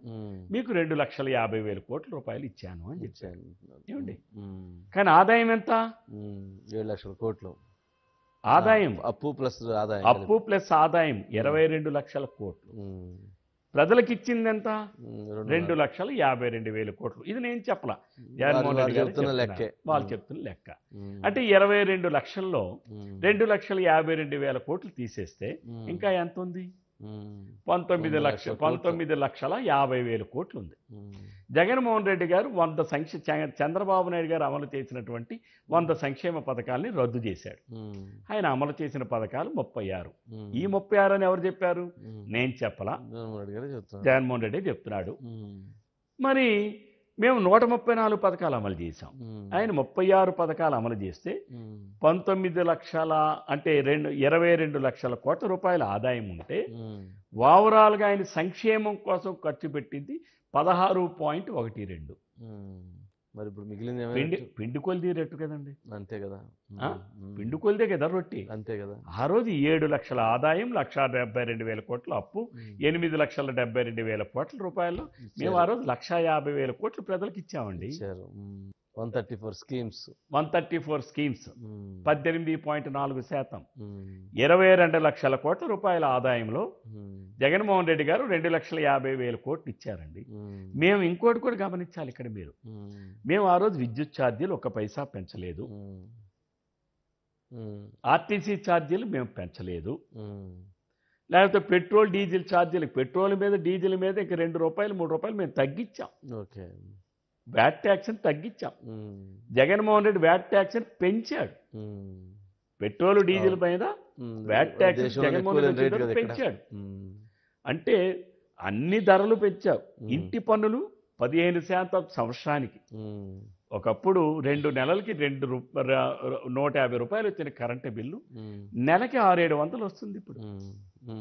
ఆ రోజు బస్ ఛార్జీ మా శ్రీకాకుళం నుంచి వై విశాఖపట్నానికి బస్ ఛార్జీ నలభై రూపాయలు. ఇప్పుడు ఎంత అండి రెండు వందలు శ్రీకాకుళం నుంచి వైజాగ్. ఇది ఇంతకుముందు నలభై రెండు వందలు ఇప్పుడు. అలాగే మీరు పప్పులు ఎనభై రూపాయలు ఉన్న ఆయిల్ ప్యాకెట్ నూట అరవై రూపాయలు. రెండు వందల ముప్పై రూపాయలు ఉన్నటువంటి సిమెంట్ ఈరోజు నాలుగు వందల డెబ్బై రూపాయలు నలభై రెండు వేలు ఉన్నటువంటి టన్ను స్టీలు ఈరోజు ఎనభై రెండు వేలు. ఎనిమిది వందలు ఆరు వందలు వెయ్యి రూపాయలు ఉన్నటువంటి ట్రాక్టర్ ఇసుక ధర ఈరోజు మా ఆమదాల వలసకు కూడా ఐదు వేలు. అంటే ధరలు మూడు వందలు నాలుగు వందలు ఐదు వందల శాతం పెరిగాయి. ఇంటి పన్నులు పెంచారు చెత్త పన్నులు వేశారు నీటి పన్నులు వేశారు. ఆ రోజు అంతెందుకండి ఈ పట్టణాల్లో ఉన్నటువంటి వేకెంట్ ల్యాండ్ ట్యాక్స్ తొమ్మిది శాతం ఉన్న ట్యాక్స్ని చంద్రబాబు నాయుడు గారు మూడు శాతాన్ని తగ్గించారు. జగన్మోహన్ రెడ్డి గారు మూడు శాతం ఉన్న ట్యాక్స్ని మళ్ళీ ఇప్పుడు పది శాతం చేశారు. రిజిస్ట్రేషన్ ఛార్జీలు ఎంత పెంచారండి? ఎన్ని వందల శాతం పెంచారండి? అంటే అధిక పన్నులు అధిక ధరలు దానితోనే పది లక్షల ఆదాయం వచ్చింది. ఏడు లక్షల కోట్ల ఆదాయం పది లక్షల కోట్లకి ఆదాయం ఎలా వచ్చిందంటే. ఏదైనా కొత్త పరిశ్రమలు వచ్చి ఆదాయం పెరగల కొత్తగా ఉత్పత్తి అయ్యి ఆదాయం పెరగల వ్యవసాయం ఉత్పత్తి అయ్యి రాగల సంపద సృష్టించి ఆదాయం పెరగల ప్రజల మీద నెత్తిన భారం వేసి ఉమ్, ముక్కు పిండి వసూలు చేస్తే పది లక్షల ఆదాయంకి వచ్చింది. ఓకే. అప్పులున్నాయి మేము పద్దెనిమిది పాయింట్ నాలుగు శాతం సంక్షేమానికి ఖర్చు పెట్టినటువంటి ప్రభుత్వం గొప్పదా? పదహారు పాయింట్ ఒక శాతమే ఖర్చు పెట్టినటువంటి ప్రభుత్వం గొప్పదా. నూట ముప్పై నాలుగు పథకాలు అమలు చేసిన చంద్రబాబు నాయుడు గారి ప్రభుత్వం గొప్పదా? ముప్పై ఆరు పథకాలు అమలు చేసినటువంటి అది కొందరికి అరాకొరా పథకాలు. మరి జగన్మోహన్ రెడ్డి గారు సిద్ధం అని చెప్పని అంటున్నారు కదా. మేము కూడా సంసిద్ధం. మీరు కూడా సంసిద్ధం. యా? ఆయన సిద్ధం అంటే మేము. సంసిద్ధం ఎందుకనంటే ఏం చేశాడని జగన్మోహన్ రెడ్డి సిద్ధం అంటాడు. ప్రజలు మాత్రం ఓడించడానికి సిద్ధంగా మీ-. ప్రజలు ఓడించడానికి సిద్ధంగా. సిద్ధంగా ఉన్నారు. ఓకే అంటే వారు ఏమంటున్నారంటే సిద్ధం అంటే ఈ సిద్ధంలో కూడా అభివృద్ధి ఎవరైతే సంక్షేమం మొత్తం వేస్తున్నారు నేను గనక రాకపోతే మీ పథకాలన్నీ ఆపేస్తున్నారు అని చెప్తున్నారు. నేను అనేది ఆయన సిద్ధం అన్నాడు. అభివృద్ధి కోసం మాట్లాడదాం. నేను రాష్ట్రం మొత్తం మాట్లాడి మా జిల్లా మా నియోజకవర్గం మాట్లాడు ఉమ్, అరవై శాతం పూర్తి చేసినటువంటి నాగావళి వంచుదారు లింక్ కెనాలు. అలాగే ఉంది. అనుసంధానం. అనుసంధానం. అది పూర్తి అయితే నా నియోజకవర్గంలో ఒక పదివేల ఎకరాలు వర్షాధారంతో పండే భూములకు నీళ్ళు వెళ్తాయి. నీళ్ళు వెళ్తాయి. ఒక్క ఎకరంకు నీళ్ళు ఇవ్వాల. ధర్మ ఈ మా జిల్లాలో ఇద్దరు మంత్రులు ఉన్నారు ఒక స్పీకర్ ఉన్నాడు. అంతెందుకండి? మా ఆమదాల వలస శ్రీకాకుళానికి దూరం పది కిలోమీటర్లు. రోడ్డు. రోడ్డు. మరి ప్రయాణం చేశారో లేదో నాకు తెలియదు అది ఇందాక ఎవరు చెప్తున్నారు ఆ రోడ్డుకి వెళ్ళబాకండి అని చెప్పారు. ఎందుకు అర్థం వెళ్తే మళ్ళీ మీరు తిరిగి వెళ్ళలేరు. కాదు. అదే ఎవరు ఆ? ఆ? రోడ్డుకి వెళ్ళబాకండి అంటున్నారు. ఎందుకంటే ఆ రోజు నేను ముప్పై ఏడు కోట్ల రూపాయలు శాంక్షన్ చేయించి రోడ్డు పనులు ప్రారంభిస్తే ఎన్నికల నిబంధనల వల్ల రోడ్డు పనులు ఆగితే ఇరవై ఐదు శాతం కాలేదని చెప్పి దాన్ని రద్దు చేస్తే తిరిగి శాంక్షన్ తెచ్చుకోవడానికి ఉమ్, ఈ యువతల పక్కన మంత్రి అవతల పక్కన స్పీకరు ఉమ్, వీళ్ళకి రెండున్నర సంవత్సరాలు బట్టి ఉమ్, తీసుకొచ్చిన పనిని పాప మా కాంట్రాక్టర్ ప్రారంభిస్తామంటే మా డమాబుచ్చుల సీతారాం ఏ నా లెక్క ఏంటి తేల్చమంటాడు. ఏదో మాట్లాడుకున్నాడు ఏదో తేల్చాడు. ముందు ఏదో ఎంతో పదో పైసో ఇచ్చాడు. ఆ కొడుకు పెళ్ళికి కూడా బలవంతంగా లాగాడు. ప్రజల నడ్డిలు మాత్రం విరిగిపోతున్నాయి ఇక్కడ. తన కొడుక్కి తనకు మాత్రం కమిషన్లు బాగా అందాయి. ఏమండి? ప్రజలు ఆ రోడ్డే చేయలేనటువంటి వాళ్ళు. నేను జగన్మోహన్ రెడ్డి అభివృద్ధి అంటే ఏది అభివృద్ధి? చెప్పండి. ప్రజలకు తెలియదా. ఒక్క రోడ్డు వేసారా ఓకే మేము ఆ రోజు. విలేజ్ లెవెల్ ఇన్ఫ్రాస్ట్రక్చర్ క్రియేట్ చేసాం. డ్రింకింగ్ వాటర్ ఇచ్చాం. ప్రతి స్తంభానికి లైట్లు వేసాం. ప్రజలకు కావాల్సింది ఏంటంటే. శ్మశాన వాటికలు కట్టాం. చెత్త సేకరణ కేంద్రాలు కట్టాం. అంటే విలేజ్ లెవెల్ ఇన్ఫ్రాస్ట్రక్చరే కాకుండా రోడ్ లింకింగ్ చేశాం చేశారు ప్రతి విలేజ్కి రోడ్ సదుపాయం. ఆ రోజు నేను నా నియోజకవర్గంలో ఒక నలభై నాలుగు గ్రామాలు నలభై ఆరు కోట్లు. మంజూరు చేయించి పనులు ప్రారంభించి ఒక ఇరవై శాతం పది శాతం పనులు అయినాయి ఓకే ఈ రోజుకి అవన్నీ పూర్తి చేయలేకపోయారు. మరి ఏదండి? మీరు చేసింది ఎందుకు చేయటమేనా? మీరు ప్రారంభించింది ఎందుకు చేయటమేనా? అంటే వీళ్ళ అదే దశలో వెళ్ళాడు జగన్మోహన్ రెడ్డి. కానీ కొన్ని క్యాన్సిల్ చేయడానికి నిబంధనలు అడ్డొచ్చాయి. ఓకే. ఏఐబిపి ఫండ్స్ అవి. అది ఒకసారి రద్దుగాని చేస్తే. సెంట్రల్ గవర్నమెంట్ నీ బాధపడు బడ్రా బాబు మరి నీకు డబ్బులు ఇవ్వమంట. ఓకే. గతి లేక జగన్మోహన్ రెడ్డి వాటిని చేశారు అంటే. అభివృద్ధి అనేది శూన్యం. ఇది నేనే మాట్లాడడంలా. రాష్ట్రంలో రాష్ట్ర ప్రజలందరూ చర్చనీయాంశం ఇక్కడ సంక్షేమం. ఇందాక నేను చెప్పాను కదా? లిస్ట్ చెప్పారు కదా. మరి అవన్నీ అంటే తెలుగుదేశం పార్టీ వస్తే అన్ని ఆగిపోతాయి ఎవరు అని ఎందుకు చెప్తున్నారు ఆగిపోతాయి అసలు పెన్షన్ని. ఇన్ని రకాల పెన్షన్లు ఇచ్చింది ఎవరండి. తెలుగుదేశం పార్టీ చంద్రబాబు నాయుడు గారు కాదా. రెండు వందల రూపాయల పెన్షన్ని రెండు వేల రూపాయలు చేసింది చంద్రబాబు నాయుడు గారు.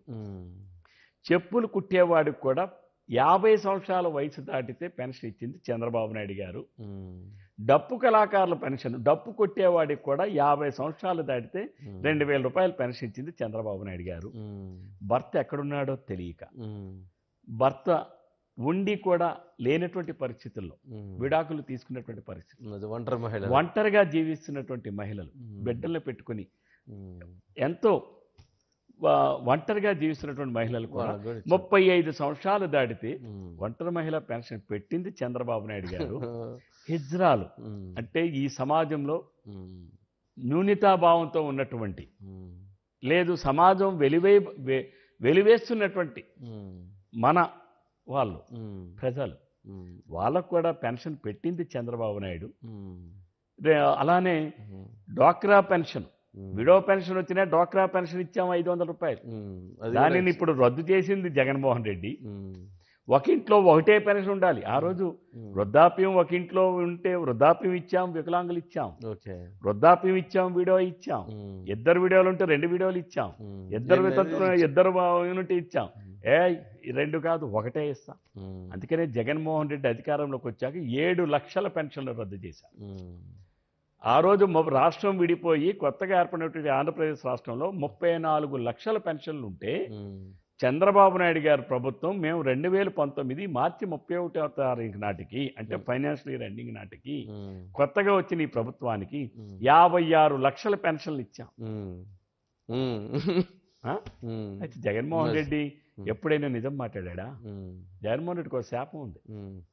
ఎప్పుడైనా జగన్మోహన్ రెడ్డి గారు నిజం మాట్లాడితే. నీ తల వెయ్యి మొక్కలు అవుతుందని ఒక శాపం. అంటే డంబాబు అందుకని జగన్మోహన్ రెడ్డి ఎప్పుడు కూడా బహుశా నాకు తెలిసి భారతీరెడ్డి గారి దగ్గర కూడా నిజం మాట్లాడతాడని నేనైతే అనుకోవడం నిజం మాట్లాడితే ముక్కలేదని ఎందుకంటే ఆయనకి శాపం ఉంది అది ఇప్పుడు వేదికల మీద ఎక్కినా మాట్లాడు. మీకు బెస్ట్ ఎగ్జాంపుల్ నాకు పత్రికలు లేవు నాకు ఛానల్ లేవు అంటాడు. దుష్ట చతుష్టయం అంటాడు అందుకే నేను నిన్ననే కామెంట్ చేశాను ఇప్పుడు అష్ట చతుష్టయంతో మనం యుద్ధం చేయాలి ఓకే ఇప్పుడు కొత్త అంశం పేదలకి పెత్తందారులకి మధ్య ఎవరు పేదలు ఎవరు పెత్తందారు మీరందరూ అంత పెత్తందారులా వారు. ఎందుకంటే. చంద్రబాబు నాయుడు గారికి. ఒక కొడుకు. ఆ కొడుకు ఒక కొడుకు. చంద్రబాబు నాయుడు గారికి. ఆయన సొంత గ్రామంలో తండ్రి ద్వారా వారసత్వంగా వచ్చినటువంటి ఒక ఇల్లు ఉంది. చంద్రబాబు నాయుడు గారికి హైదరాబాద్లో ఒక ఇల్లు ఉంది. ఇప్పుడే నియోజకవర్గంలో కూడా ఒక ఇల్లు నిర్మించుకున్నారు. తన కుప్పం నియోజకవర్గంలో కూడా ఇల్లు నిర్మించుకుంటా ఉన్నారు. ఇల్లు. ఇల్లు. ఇవి అన్నీ కూడా ఇల్లు. ఇల్లు. అంటే. ఒక సామాన్యమైన కుటుంబం ఉండడానికి ఒక రెండు గదులు మూడు గదులు ఐదు గదులు ఆరు గదులు ఏడు గదులు. చంద్రబాబు నాయుడు గారు కాబట్టి కాస్త విజిటర్స్ వెళ్తారు. కాస్త ఆఫీసర్స్ వెళ్తారు కాస్త ఆఫీస్ రూమ్ ఓ నాలుగు గదులు ఎక్కువ ఉంటుంది. ఇప్పుడు నాకు ఎనిమిది గదులు ఉంటే. ఆయనకు కాకపోతే ఇంకో నాలుగైదు గదులు ఎక్స్ట్రా ఉంటాయి. ఓకే. కానీ జగన్మోహన్ రెడ్డి గారి లాగా. రెండు వందల గదులతో యలహంకలో బెంగళూరులో రెండు వందల గదులతో ఉన్న ప్యాలెస్ చంద్రబాబు నాయుడు గారికి లేదు. ఓకే. ముప్పై ఆరు గదులతో ఇడుపులపాయలో ఉన్నటువంటి ప్యాలెస్ చంద్రబాబు నాయుడు గారికి లేదు. పులివెందుల్లో ప్యాలెస్ చంద్రబాబు నాయుడు గారికి లేదు. డెబ్బై ఆరు గదులతో పది ఎస్కవేటర్స్తో ఆరు లిఫ్టులతో మరి లోటస్ పాండ్ ఉన్నంత ప్యాలెస్ చంద్రబాబు నాయుడు గారికి లేదు. చెన్నైలో ఒక ప్యాలెస్ లేదు. మరి లండన్లో కూడా ఒక ప్యాలెస్ కొన్నాడు. లండన్లో కూడా చంద్రబాబు నాయుడు గారికి ఆంధ్రప్రదేశ్ రాష్ట్రంలో తప్ప పక్కన ఉన్న చెన్నైలో కూడా ఒక ఇల్లు లేదు ఒక పొల్లు లేదు. మరి ఇంకా కొత్తగా తాడేపల్లిలో ఒక పెద్ద ప్యాలెస్. ఇంకా మరి ఇక్కడే ఋషికొండను బోడిగుండు చేసి ఇక్కడ కట్టించుకున్న నాలుగు వందల డెబ్బై కోట్లతో నిర్మించినటువంటి ప్యాలెస్. అందులో ముప్పై ఆరు లక్షల రూపాయలతో కమోటి. అవునండి. ముప్పై ఆరు లక్షలతో కమోటి. సాక్షి పేపర్కి సాక్షి ఛానల్కి ఎవరండి ఎండి? భారతిరెడ్డి గారు. వాళ్ళే కదా డైరెక్ట్. మరి భారతిరెడ్డి గారు ఏమవుతారండి జగన్మోహన్ రెడ్డి గారికి? భార్య అవుతారు. భార్య అవుతారు. మరి నాకు సాక్షి నాకు ఛానల్ లేదు పేపర్ లేదు. మరి ఆ పెట్టుబడి భారతిరెడ్డికి ఎక్కడి నుంచి వచ్చింది? వాళ్ళ ఆయన ఏమని ఇచ్చాడా. చెప్పండి. ఏం లేదే రెండు వేల మూడు నాటికి జగన్మోహన్ రెడ్డి విలువ ఎంత అండి ఆయన ఆదాయం ఎంత. ఆయన కట్టిన ట్యాక్స్ ఎంత? రెండు వేల నాలుగుకి. రెండు వేల మూడో సంవత్సరం రెండు వేల నాలుగు నాటికి జగన్మోహన్ రెడ్డి కట్టిన ట్యాక్స్ ఎంత? అంతా కలిపి నాకు తెలిసి ఆరు లక్షలు ఏడు లక్షలు కట్టారు. యాభై నాలుగు లక్షల ఆదాయం చూపించారు. ఓకే. ఏమండి? ఆ రోజుకి నాకు కూడా రెండు వేల మూడు రెండు వేల నాలుగు నాటికి నేను వ్యాపారం ఇచ్చేసిన తర్వాత. నేను కూడా ఆ రోజు ఒక లక్ష రూపాయలు ట్యాక్స్ కట్టాను. ట్యాక్స్ కూడా. అంటే నాకు కూడా పది లక్షలు పదిహేను లక్షలు ఆదాయం వచ్చింది. అయితే రెండు వేల తొమ్మిది నాటికి జగన్మోహన్ రెడ్డి గారు నాలుగు వందల డెబ్బై ఆరు కోట్లు ట్యాక్స్ కట్టాడు. ఫోర్ సెవెంటీ సిక్స్ క్రోర్స్ నేను ఓ రెండు లక్ష యాభై వేలు లక్ష డెబ్బై వేలు ఒక కట్టాను యాభై వేలు పెరిగింది. ఒక యాభై వేలు పెరిగింది. మరి నాకెందుకు పెరగలేదండి? జగన్మోహన్ రెడ్డికి ఎందుకు పెరిగిందండి. వాళ్ళ నాయన ముఖ్యమంత్రి మా నాన్న అవ్వలేదు. అంటే పేదలు పెత్తందారులు అంటే ఇంత అర్థం ఏంటంటే వారి దృష్టిలో ఎట్లుంటే పేదలని అట్లుంటే అంటే జగన్మోహన్ రెడ్డి అంతా రివర్స్ అండి. రివర్స్ టెండరింగ్ రివర్స్ కాంట్రాక్టింగ్ పోలవరాన్ని రివర్స్గా చేయడం ఆ రాజధానిని రివర్స్గా చేయడం అన్ని రివర్స్గా ఊహిస్తాడు కదా. తన దృష్టిలో పేదవాళ్ళు పెత్తందారులు ఎవరంటే ఎవడైతే పేదవాడిగా ఉంటాడో ఎవడైతే సామాన్యుడిగా ఉంటాడో ఎవడైతే మధ్యతరగతిగా ఉంటాడో. ఆయన దృష్టిలో వాడు పెత్తందారు. ఎవడైతే ప్యాలెస్లు కోట్లాధిపతులు ఉంటారో వాళ్ళందరూ ఆయన దృష్టిలో పేదవాళ్ళు. ఓకే. అందుకని ఆయన పేదవాళ్ళకే దగ్గరకు ఉంటాడు. ఆయన డెఫినేషన్ వేరు. మీరు అర్థం చేసుకోవాలి. నిజాలు మాట్లాడితే తలకాయ ముక్కు అందుకని నిజాలు కాబట్టి చెబుతుంటారు. రివర్స్ మీ ఉద్దేశం. ఆయన ఆలోచన అంతా కూడా రివర్సే కదా. ఓకే. మీరు జగన్మోహన్ రెడ్డిని ఎప్పుడూ కూడా. ఆయన అవును అంటే అది కాదు కింద అర్థం తీసుకోండి. ఓ, కాదు అంటే? ఆయన కాదు అంటే అది అవునని అర్థం తీసుకోండి. ఓ, ఇది సీరియస్ పాయింట్ మీకు అర్థమైంది కదా? ఎందుకనంటే నాకు ఏ ఛానల్ లేదు ఏ పేపర్ లేదు వాళ్ళకేమో పచ్చ ఛానళ్ళు ఉన్నాయి పచ్చ మీడియా ఉన్నాయని చెప్పి మాట్లాడుతుంటాడు వేదిక మీద. నేను అడుగుతా ఉన్నా. సాక్షి పేపర్ ఎవరిది? సాక్షి ఛానల్ ఎవరిది మిగిలిన ఛానళ్ళకి ఏవో ఉంటాయి పక్కన పెట్టండి. నేను వాటి మీద. ప్రత్యక్షంగా కనిపించేది. ప్రత్యక్షంగా కదా. ఆయన భార్య కదా ఎండి.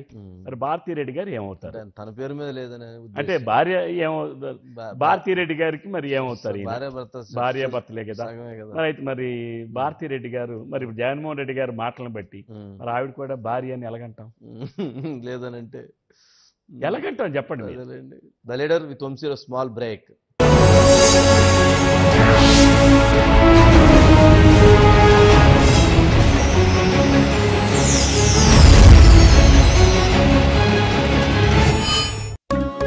ఏదో ఒకటి సెలెక్ట్ చేసుకోమ్మా. ఏదో ఒకటి కాదు. నేను బెస్ట్ వన్ సెలెక్ట్ చేసుకుంటా. ఆ ముందు చూపే మీ ఫీచర్ని డిసైడ్ చేస్తుంది. It's not a brand, it's an emotion. Delta Srihari Panchatulasi immunity పెంచి జీర్ణకోశ శ్వాసకోశ వ్యవస్థలను ఆరోగ్యంగా ఉంచడానికి సహాయపడుతుంది.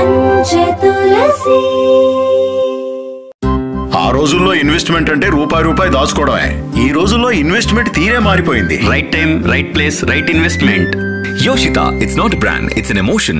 Delta Srihari Panchatulasi నీటిని నాచురల్గా ఆల్కలైన్ చేసి యాంటీ ఆక్సిడెంట్స్ అభివృద్ధి చేయడంలో సహాయపడుతుంది.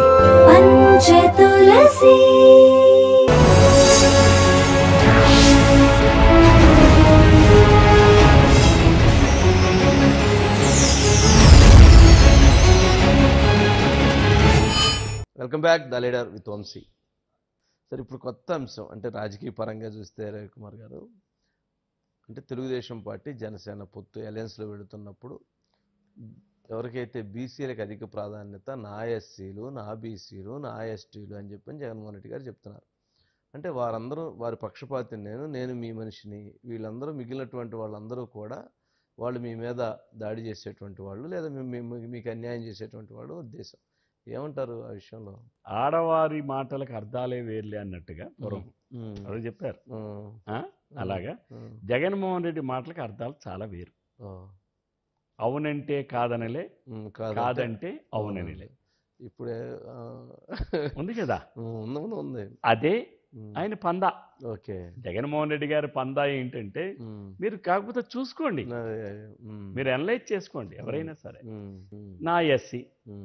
ఏ ఎస్సీని ఆయన బతకనిచ్చాడండి? నా ఎస్సీలు అయితే ఇన్ని హత్యలు ఎందుకు అయ్యాయండి? ఇన్ని అగత్యాలు ఎందుకు జరిగాయండి? ఇన్ని రేపులు ఎందుకు జరిగాయండి? ఇన్ని మర్డర్లు ఎందుకు జరిగాయండి? నా ఎస్సీలు అయితే పాపం డాక్టర్ సుధాకర్ని బట్టలు ఓడదీసి గుండు గీయించి రోడ్డు మీద నిలబెట్టి ఆయన చనిపోవడానికి కారకుడు ఎందుకు అయ్యారండి? ఉమ్, నా ఎస్సీ మహిళ అనుకుంటే ఆయన నియోజకవర్గంలోనే నాగమ్మ అనేటటువంటి మహిళని రేప్ చేసి మర్డర్ చేస్తే ఈ రోజు వరకు కేసు ఏదండి? ఆయనకి నా అనే పదానికి నిర్వచనం వేరే. నా అనేటటువంటి ఎవరండి ఆయనకి నా అంటే? ఆయన తల్లి. తల్లి ఎక్కడ ఉంది ఇప్పుడు నా అంటే తనకి ఎవరండి నిర్వచనం? తన చెల్లి. చెల్లి ఎక్కడ ఉందండి ఉమ్, ఇంకా నా తరపున నా బంధువుని అనుకుంటే పాపం చిన్నాన్న కూతురు చిన్నాన్న చిన్నాన్న కూతురు. చిన్నాన్న కూతురు ఎక్కడ ఉందండి నాకు నా అన్న దగ్గర నుంచి రక్షణ లేదు అని ఒక చెల్లి గోల పెడుతుంది. ఇంకొక చెల్లి వీడికి అసలు ఏమీ లేదు. వీడు నన్ను కూడా వదలడం లేదు ఈ సోషల్ మీడియాలో. తల్లిని చెల్లిని కూడా బండబూతులు తిట్టిస్తున్నాడు. మాట్లాడలేనటువంటి భాష ఇచ్చేస్తున్నాడు అని చెప్పి అంటే వారి చేత. మాట్లాడిస్తుందంతా మీరట కదా టీడీపీ చంద్రబాబు నాయుడు గారు? షర్మిల చేత యుద్ధం చేపిస్తుంది వెనకమాల నడిపిస్తుంది కథ రచయిత స్క్రీన్ ప్లే మీద ఏమండి. చంద్రబాబు నాయుడు గారు రాజశేఖర్ రెడ్డి గారు వాళ్ళు తెలుగుదేశం పార్టీ పుట్టక ముందు స్నేహితులుగా ఉన్నారు ఒకే పార్టీలో ఉన్నారు రాజకీయాలు చేశారు ఇద్దరు ఒకటేసారి రాజకీయాల్లోకి వచ్చారు కలిసి కొనసాగారు. ఆ తర్వాత తెలుగుదేశం పార్టీ వచ్చాక ఆయన తెలుగుదేశంలోకి వచ్చారు. రాజకీయ వైరంతో ఉంటే ఉండొచ్చు. ఓకే. షర్మిల గారు ఏ రోజైనా చంద్రబాబు నాయుడు గారిని ఆయన కలిశారు. అసలు సాన్నిధ్యం ఉందా?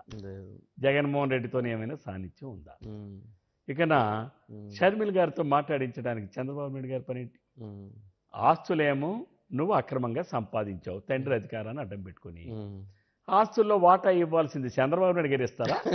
జగన్మోహన్ రెడ్డి ఇస్తారండి షర్మిల గారికి? ఎవరు ఇవ్వాలి అన్న ఇవ్వాలి. నువ్వు ఆస్తులన్నీ నువ్వు నువ్వు కైంకర్యం చేసావు ఆ, నా వాటా నాకు ఇవ్వని అవేం నీకు ఎక్కువ అడగలేదే అన్న చెల్లిగా నా వాటా నాకు ఇమ్మని అడిగింది న్యాయంగా నువ్వు చెల్లికి వాటా ఇవ్వాలి కదా. నా చెల్లి నా తల్లి కానప్పుడు నీకు నా ఎస్సీలు నా బీసీలు నా ఓసీలు అని చెప్పి మాట్లాడడానికి జగన్మోహన్ రెడ్డికి సిగ్గు లేదు. నేను అందుకే ఇందా చెప్పాను. ఆయన ఏది మాట్లాడినా దానికి రివర్స్ అర్థం తీసుకోండి. ఓకే. రివర్స్లో చూడాలంట రివర్స్లో చూడాలి. మీరు జగన్మోహన్ రెడ్డిని స్ట్రైట్గా చూడొద్దు. జగన్మోహన్ రెడ్డి అనే వ్యక్తిని గాని ఉమ్, జగన్మోహన్ రెడ్డి వాడే భాషను గాని ఉమ్, జగన్మోహన్ రెడ్డి ఆడే మాటను గాని ఉమ్. మీరు రివర్స్లోనే చూడండి. ఓకే. ఫైనల్గా ఆయన అంతా రివర్స్లో థింకింగ్ రివర్స్ పరిపాలన అనేటువంటి సరే రెండు వేల ఇరవై నాలుగు రేపు ఎన్నికల్లో ఏంటి ఎన్ని సీట్లు వస్తాయి అనుకుంటున్నారు? ప్రధానంగా ఈ జిల్లాని కానీ నైసర్గికంగా కానీ గత చరిత్ర కానీ చూసుకుంటే కాంగ్రెస్ పార్టీకి వ్యతిరేకంగా ఉన్నటువంటి జిల్లా ఇది. ఒకప్పుడు సర్దార్ లచ్చన గారు ఆయన ఆయన లోక్ లోక్ లోక్. ఏదో పార్టీ ఉండేది.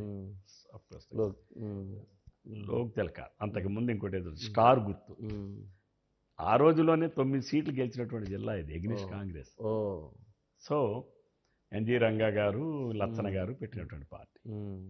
అంటే ఎప్పుడూ కూడా కాంగ్రెస్ పార్టీకి వ్యతిరేకంగా ఉన్నటువంటి జిల్లా శ్రీకాకుళం జిల్లా. కాంగ్రెస్ పార్టీయే ఈరోజు వైసీపీ పార్టీగా రూపాంతరం చెందింది. ఓకే. మీరు కాంగ్రెస్ పార్టీ వేరు వైసీపీ పార్టీ వేరని కాదు. అవును అదే అందుకని ఇటు జగన్మోహన్. రెడ్డి. వైఎస్ఆర్ కాంగ్రెస్. కాంగ్రెస్. జగన్మోహన్ రెడ్డి గారు పదం తీసేసి పెట్టుకోమనండి. ఇందాక వాళ్ళ చెల్లి బాగా చెప్పారు షర్మిల గారికి ఆ, నిన్నటి వరకు ఎవడం మాట్లాడలేదు మేము.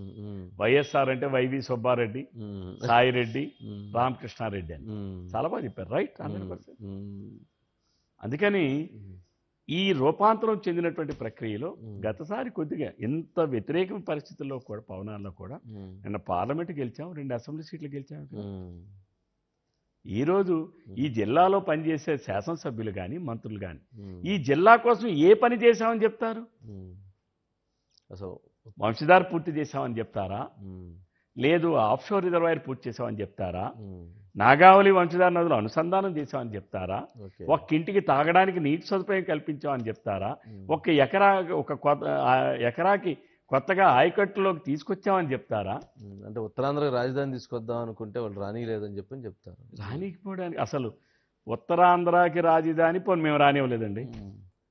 నిన్న కేంద్ర ప్రభుత్వం పార్లమెంటులో ఉత్తరాంధ్రలో వైజాగ్లో పెట్టాల్సినటువంటి జోన్ ఎందుకు పెట్టలేదే అని అంటే జగన్మోహన్ రెడ్డి ప్రభుత్వం యాభై నాలుగు ఎకరాలు మాకు భూమి ఇవ్వలేదు కాబట్టి మేము పెట్టలేదని చెప్పి చెప్పిన తర్వాత మరి జగన్మోహన్ రెడ్డి నేను ఇందాక చెప్పాను రివర్స్ అన్నీ రివర్స్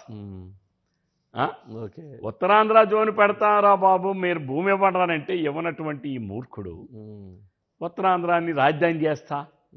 అంటే తల్లికి తిండి పెట్టడు కానీ పెన్నమ్మకి బంగారం మొలతాడన్నాడు పెన్నమ్మ తాలినే తెంపినటువంటి వాడు ఈ జగన్మోహన్ రెడ్డి. ఈ రాష్ట్రంలో ఉన్నటువంటి వ్యక్తులకి వ్యవస్థలకి ఏం న్యాయం చేస్తాడండి? తన చెల్లినే రోడ్డు మీదకి నెట్టినటువంటి వ్యక్తి తన తల్లిని రోడ్డు మీదకి నెట్టినటువంటి తన చిన్నాన్న చిన్నాన్నని చంపించారు. తన చెల్లిని కూడా చంపించాలని చూస్తున్నటువంటి వ్యక్తి. ఈ మాట నేను చెప్పలేదు. వాళ్ళకి వాళ్ళు కంప్లైంట్ ఇచ్చారు. వాళ్ళు కంప్లైంట్ ఇచ్చారు నేను. ఉటంకిస్తున్నాను. ఈ మాటలేవి కూడా. నేను తెలుగుదేశం పార్టీ అనో లేకపోతే కోన రవికుమార్ గారు నేను వ్యతిరేకంగానో నేను మాట్లాడటంలా. వాళ్ళు చెప్పినట్టు వాళ్ళు? చెప్పినటువంటివే నేను ఉటంకిస్తున్నా. కాబట్టి ఈ జిల్లాలో వాళ్ళు ఏ రకంగా కడతారు? ఇప్పుడు తమ్మినేని సీతారాం ఉన్నాడు. పది కిలోమీటర్లు రోడ్డు వేయలేనటువంటి ధర్మాన్ ప్రసాద్ గారు కానీ లేదా తమ్మినేని సీతారాం గారు కానీ ఏమని ఓటు అడుగుతారండి? పది కిలోమీటర్ల రోడ్డు. మీకు ఆ రోడ్డులో ఏ- ఐదు సంవత్సరాల్లో ఇరవై ఏడు మంది చనిపోయారండి. ఆయనకు కూడా యాక్సిడెంట్ అయిందంట కదా సీతారాం. రోడ్ యాక్సిడెంట్లో చనిపోయారు సెల్ఫ్ యాక్సిడెంట్లో చనిపోయారు. సీతారాం గారు కూడా- సీతారాం గారు కూడా వెళ్ళి ఒక ఆటోను గుద్దేశాడు. గుద్దేసి తిరిగి దబాయింపు చేస్తాడుగా. ఏ నువ్వు వచ్చి గుద్దేశావు. సరే ఆటో వాడు గోల. యాక్సిడెంట్ జరిగింది అక్కడ. అదే అండి. రెండు వందల పైబడి క్షతగాత్రులు అయిపోయారండి. నడుము ఇరిగిపోయిన వాళ్ళు కాళ్ళు ఇరిగిపోయిన వాళ్ళు చేతులు ఇరిగిపోయిన వాళ్ళు తా వాళ్ళు గొంతల్లో పడిపోయి తలకి దెబ్బలు తగిలి బ్రెయిన్ హెమరేజ్ వచ్చిన వాళ్ళు పెరాలసిస్ వచ్చిన వాళ్ళు. అబ్బా. ఈరోజు ఈ రోడ్డు వలన వీళ్ళిద్దరు అశ్రద్ధ వలన తమ్మినేని సీతారాం అవినీతి వలన ఇంచుమించు నాకు తెలిసి ఒక మూడు వందల మంది నాకు తెలిసి ఒక పాతిక మంది చనిపోయారు. ఒక రెండు వందల పైబడి క్షతగాతులు అయిపోయారు. అంటే ఏ పని చేయలేనటువంటి వాళ్ళు ఇది ఏ రకంగా ప్రజలు వీళ్ళకి ఆదరిస్తారండి. నిన్న మేము తప్పు చేశామని మీకు ఇక్కడే కాదండి రాష్ట్రం. మొత్తం మీద తెలుగుదేశం పార్టీ పాజిటివ్తో ఓడిపోయాం. వైఎస్ఆర్సీపీ పార్టీ సింపతితో నిన్న గెలిచింది. మీరు పాజిటివ్ తోటి ఓడిపోయారు వాళ్ళు సింపతితో గెలిచారు? వాళ్ళు సింపతితో గెలిచారు. ఓకే. ఒక్క ఛాన్స్ అని అడుక్కుంటే. ఓకే. మా నాన్న పోయాడు. ఆమె తల్లి కూడా వచ్చి ఉమ్, "ఆ, నా కొడుకు ఒక్క అవకాశం ఇవ్వండి. ఆమె చెల్లి వచ్చి మా అన్న వదిలి. బాణం అని చెప్పింది. రెండు వేల పద్నాలుగులో కూడా తిరిగారు కదా? అందుకనే అంత దగ్గరికి వచ్చారు. ఓకే. అది అప్పుడు ఫుల్ఫిల్ కాలా. నిన్న ఫుల్ఫిల్ అయింది. కానీ సింపతి అయిపోయింది ఇప్పుడు. కానీ అప్పుడు కూడా మీరు ప్రజలకు కొంచెం దూరం అయ్యారు కదా? మేము అంటే ప్రజలకి మేము ఇచ్చినంత సంక్షేమం అభివృద్ధి నాకు తెలుసండి. గత యాభై సంవత్సరాల్లో ఒక పంచాయతీ తీసుకుందాం. ఓకే. గత యాభై సంవత్సరాల్లో ఒక పంచాయతీకి మొత్తం నిధులు ఒక పది లక్షలు వచ్చాయి అనుకోండి ఉమ్, రెండు వేల పద్నాలుగు రెండు వేల పంతొమ్మిదిన ప్రతి పంచాయతీకి ఒక యాభై లక్షలు వచ్చాయి. అసలు మొత్తం కలిపి ఎంత అభివృద్ధి ఉంది? అప్పుడు అంత అభివృద్ధి జరిగింది అంటారు ఎస్ ఇది నేను చెప్పడమే కాదు. ఓకే. మీరు ఎవరినైనా అడగండి ప్రజలైనా అడగండి. ఓకే. సో అభివృద్ధిని సంక్షేమాన్ని రెండింటిని చేశాం. ఎలా చేశామంటే ఆదాయాన్ని పెంచాడు. చంద్రబాబు నాయుడు గారి పరిపాలనలోని విశిష్టత ఏంటంటే ఆదాయాన్ని పెంచే మార్గాల్ని అన్వేషిస్తూ ఆదాయాన్ని పెంచేటటువంటి కార్యక్రమాలు చేస్తూ ఒక పక్కన రాష్ట్ర ఆదాయం ఆస్తుల్ని పెంచి ఆదాయాన్ని సృష్టిస్తే పెంచిన ఆదాయాన్ని మళ్ళీ ఎవరికి వెళ్ళాలి? ఎందుకంటే మా సిద్ధాంతం ఏంటి? సమాజమే దేవాలయం. ప్రజలే దేవుళ్ళు. ప్రజలే దేవుళ్ళు. ఇది మా సిద్ధాంతం. అంటే పెంచిన ఆదాయం ఎవరికి ఎవరికి వెళ్ళాలి? అదే జగన్మోహన్ రెడ్డి. ఆదాయం పెంచలేడు కదా. వచ్చిన ఆదాయం తాడేపల్లి ప్యాలెస్కి వెళ్ళాలి. సరే ఫైనల్గా ఏంటి? లోకేష్ గారిని ఎలా చూస్తున్నారు? మా. భావితరం నాయకుడు. ఉమ్, భవిష్యత్తు నాయకుడు. భవిష్యత్ తరాలకి తన పాదయాత్ర ద్వారా మార్గనిర్దేశం చేశాడు. నేను ఒకప్పుడు ఎవరో నా దగ్గరికి ఒక ఆయన ఒక లెక్చరర్. మీ నాయకుడు ఇప్పుడు వీళ్ళు ఫ్రూట్ఫుల్ ఎక్స్పెండిచర్ అంటారు చూడండి. మీ నాయకుడు ఇప్పుడు ఫ్రూట్ఫుల్ లీడర్ అండి అన్నాడు అదేంటి సార్? ఫ్రూట్ఫుల్ లీడర్ ఏంటి అని అడిగాను లీడర్లో ఫ్రూట్ఫుల్ లీడర్ ఏంటి? ఎక్సలెంట్ లీడర్ అంటారు. లేకపోతే ట్రెమండస్ అని అనొచ్చును. ఇంకా వేరే పదాలు అన్నీ ఉన్నాయి కదా. ఇదేంటంటే నిన్నటి వరకు తెలుగుదేశం పార్టీకి మీ నాయకుడు మీ యువ నాయకుడు లైబిలిటీ. ఈరోజు లోకేష్ బాబు పార్టీ లోకేష్ బాబుకి లైబిలిటీ. అందుకని ఫ్రూట్ఫుల్ లీటర్గా అందుకనే ఆయన ఫ్రూట్ఫుల్ లీడర్ అర్థమైంది కదా? ఓకే సో సింపుల్ అది అర్థమయ్యే వాళ్ళకి అర్థం. అర్థమైపోయింది. సో తప్పనిసరిగా ఉమ్, ఈ రాష్ట్రానికి చంద్రబాబు నాయుడు గారి విజన్ ఎంత అవసరమో అంతకు మించి ఆలోచనలు కూడా ఉన్నాయి. రేపు భవిష్యత్తులో మళ్ళీ ఈ రాష్ట్రానికి నాయకత్వం ఇవ్వగలిగే సామర్థ్యం సమర్థత ఉన్నటువంటి ఏకైక వ్యక్తి ఈ ఆంధ్రప్రదేశ్ రాష్ట్రంలో. ఓకే లోకేష్ బాబు గారు. అయినా ఇప్పుడు మీరు రేపు మేము మరి జనసేన తెలుగుదేశం కలిసి వెళ్తాం. ఉమ్, కలిసి వెళ్తున్నారు. పొత్తు ధర్మాన్ని పాటిస్తాం. ఓటు ట్రాన్స్ఫర్ అయింది అంటారా తప్పనిసరిగా అండి.